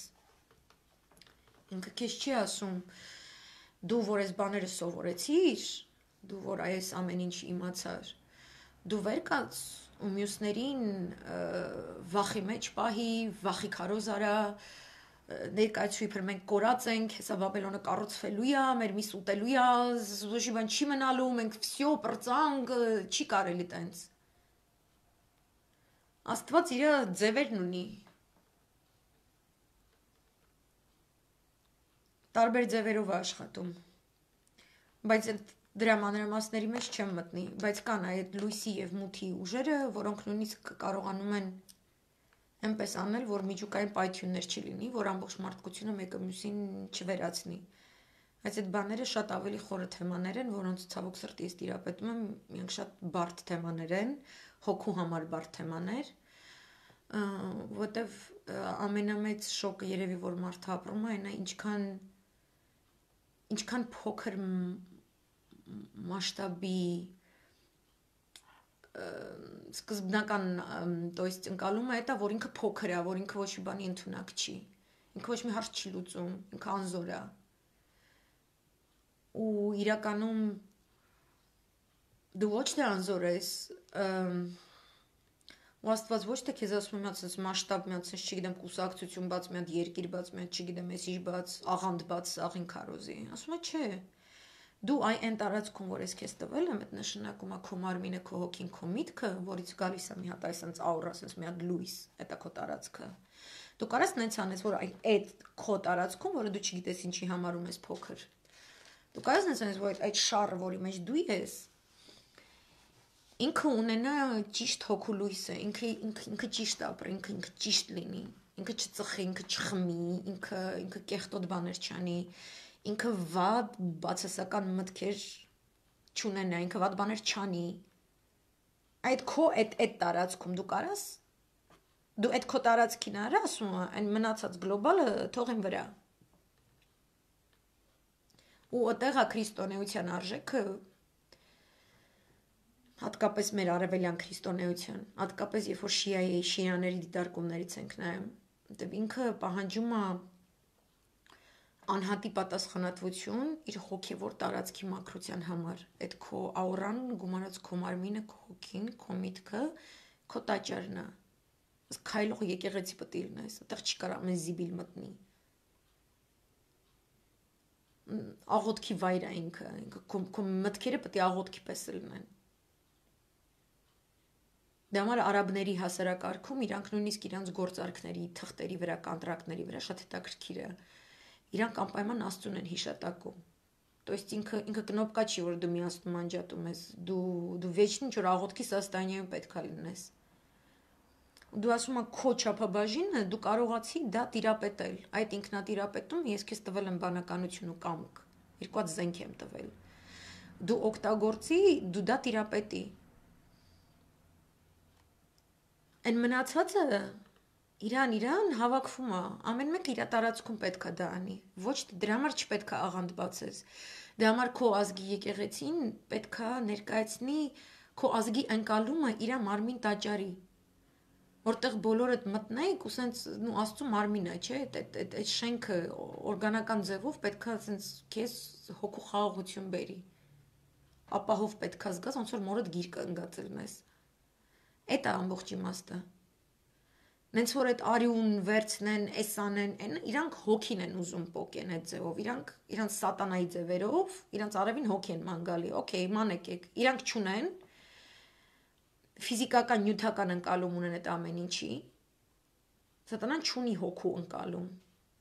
Ինքն ինչին կպնում է մութ է դառնում։ Համար ինքը sense արյան մեջ է փնտրում, չգիտեմ ինչի մեջ է փնտրում, վնասելու մեջ է փնտրում, ուղեղի մեջ է փնտրում, ուղեղն բացում, փակում, չգիտեմ ինչեր են անում։ Իրանք իրանցը թող, ոբշեմ, անեն։ Բայց այդ բոլոր մարգարայությունների համաձայն հենց արևելյան քրիստոնյաներն են Ռուսաստանի գլխավորությամբ որոնք բերելու են այդ Քրիստոս կոչված ուժը, որը պետքա լինի անտիխրիստի վերջը։ Իրանց է տրված այդ միսիան։ Ու նաև մեր եկեղեցուն, մեր ժողովրդին ու արամեացիներին, այնտեղ այս ամբողջ կռիվը դրա համար է։ Դու կարաս սկսես միացնես նավթից ու չգիտեմ ինչից պատմել, ու դու գնում ես ու վերջացնում ես այն ամենաբարձրագույն, ամենահոգևորից։ Ու ինձ դուր չի գալիս որ Տրամպի դաշտը ուղարկում է օգտագործում այս թեմաները, այն աստիճան, որ իրանք ներկայացնում են, որ Նյու Յորքի Central Park-ում դրված վրանային հիվանդանոցները, որոնք իբրև թե կորոնավիրուս պետք է բուժեին, այնտեղ իրականում հենց որ Տրամպ արտակարգ իրադրությունը հայտարարել, Իրականում այդ հիվանդանոցներն են բերվում ստորգետնյա բազաներում տարիներով բանտարկված, օգտագործված երեխաներ եւ մարդիկ եւ ինքը արտակարգ իրադրություն հայտարարելով ու փակելով բոլոր փողոցները եւ այլն եւ այլն, այնպես արել, որ դա շատ մեծ աղմուկ չունենա, այլ որ ինքը տենց լոկալիզացված, տենց փրկարար, սրբազնագույն աշխատանք իրագործի, կեցե Տրամպը, որը լսում է ալտերնատիվ այս թեորիաների կրողներին, ու այնտեղ տալիս են ինչ որ տենց ռոլիկներ, որտեղ ինչ որ մեկը զանգում է, խոսքի մամայիս ընկերուհին, որ աշխատում է այդ հիվանդանոցում, այն օրը ասաց, որ երեխա է եկել, որը չգիտեմ ինչ, ու տենց մեկը մյուսին կապելով։ Դրա փոխարեն ես ձեզ կասեմ Alice in Wonderland ամենահայտնի Դա պատահական գիրք չի։ Um, go down the rabbit hole այդ նապաստակի բունը, որ գետնի տակ գնում է, գնում է, գնում է, ինքը շատ ավելի խորն է ու ավելի շատ շերտեր ունի։ Քան ինչ որ ձեզ ցույց են տալիս մի տեսեք տարբերություն Տրամպի կամ Բիլ Գեյթսի կամ այդ մնացածի միջև։ Հանրապետականներ թե դեմոկրատներ, նույն էլիտան են, նույն թայֆեն են, նույն բաներով են զբաղվելուց եղել, երբեմն տարբեր օթյակներում, բայց նպատակը նույնն է, որտեվ Ամերիկայի Միացյալ Նահանգներում դեմոկրատները ու հանրապետականները չեն որոշում երկրի ռազմավարությունը դեպի տիեզերք ներս ներսի գեղերի քաղաքների հարցերը օքեյ դե կարան։ Ընդհանուր ռազմավարության no way։ Ու որպեսի սենց եզրափակեմ մի տեսակ, կներեք, ես սենց սենց զրույցները սիրում եմ այս ձևով սենց մտնել, չգիտեմ, տարբեր ժամերի, ուրիշ ձևով, ուրիշ մտնոլորտ եմ ուզում ապահովել։ Այս թեմայից ես էլի կխոսամ, բայց ոչ առանց այդ մեր հայկական բզբզոցների ինձ հետաքրքիր չի։ Ամ Ես ես խորհուրդ եմ տալու, որ դուք դիտեք երկու ֆիլմ։ Ես շատ զարմացած եմ, որ այդ ֆիլմերը, կստացի, մեկ մի հատ է սերիալ երևի, ոնց էր անունը, չեմ հիշում, սերիալինը։ Ցավոք սրտի կհիշեմ, առանձին ուզում եմ լայվ անեմ այդ սերիալի մասին մենակ։ Աֆրոամերիկացի ռեժիսոր է, Ջորդան Փիլ, շատ հետաքրքիր կերպար, որը նո մի քանի ֆիլմեր արել է իմ ամենասիրածը սիրածները կամ շոկի շոկի եմ եկել ոչ թե այն կոնտենտը որ ցույց է տալիս ես զարմացել եմ որ այդ կոնտենտը թույլ է տրվել այս ձևով ցուցադրվի այն դեպքում երբ որ Eyes Wide Shut-ի համար եւ այլ մի քանի ֆիլմերի համար Կուբրիկին բերեցին սատկացրեցին ուղակի էլի ինչ ցենզուրա դրեցին ու ոնց ֆիլմը փչացրեցին երկու ֆիլմը 2017-ին մեկը կոչվում է Get Out եւ մյուսը 2019-ին էր կոչվում է Us մենք Էդը լա շատ հետարքիր, վերնագիրն էլ է հետարքիր, աս հայերեն թարգմանվում է մենք, բայց ես դա ասոցացնում եմ Զամյատինը հետաքրքիր գիրք ունի շատ լավ, փոքր գիրքը շատ մեծ չի։ Շատ շատերն են սիրում 1984-ի մասին խոսալ։ 1984-ը ներշնչվել է մի գրքից, որը գրվել է 20-րդ դարաշրջանին Զամյատինի կողմից, կոչվում է «Մի» անգլերենով we անգը այստեղ ասա գրած նույն թեմատիկան է շատ հետաքրքիր է դիտեք անպայման այդ get out 2017-ը եւ AS 2019-ը եւ եթե դեմ չեք, ես մի հատ փորձեմ այն սերիալի անունն էլ գտնեմ that series ոնց էր կոչվում Ares արես, որովհետև հունարեն բառախաղ կա արես, մարես կուկուն արես խաղով, բայց ինքը արես կոչվում է, գրվում է A R E S A R E S ինքը սերիալ է Netflix-ում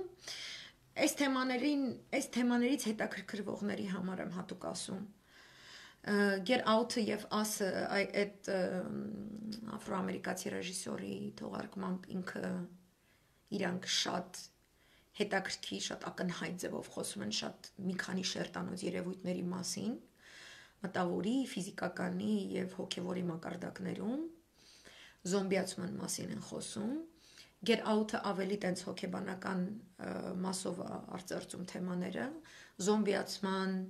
մասսայական գիպնոզի, ստերեոտիպների ընկալման եւ ստերեոտիպների մեջ ապրելու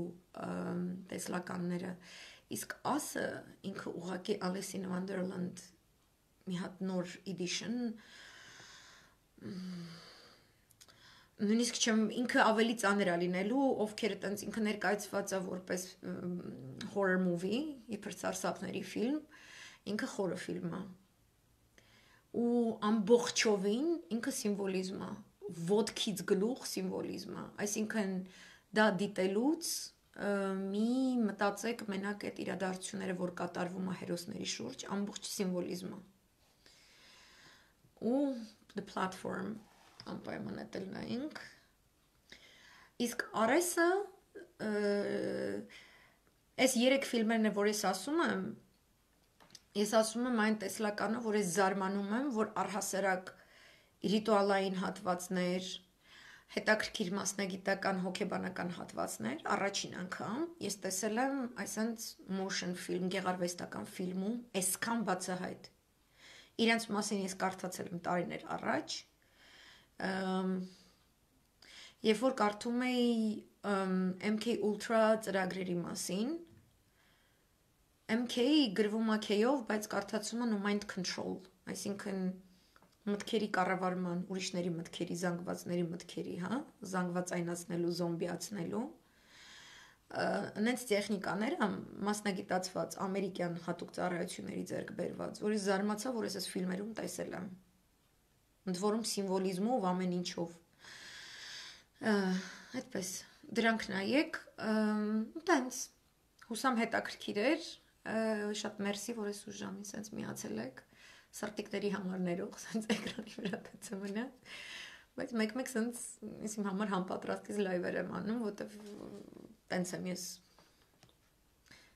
ստեղծագործելուց տենց եմ էլի իմ համար ստեղծագործությունը այսքանը շատ-շատ մերսի ես ձեզ շատ բարի շատ լավ շատ խաղաղ հոգեբարար գիշեր եմ մաղթում լավ եղեք եւ լավ զգացեք անկախ ամեն ինչից աստուն լավատացեք всё пока пачкнер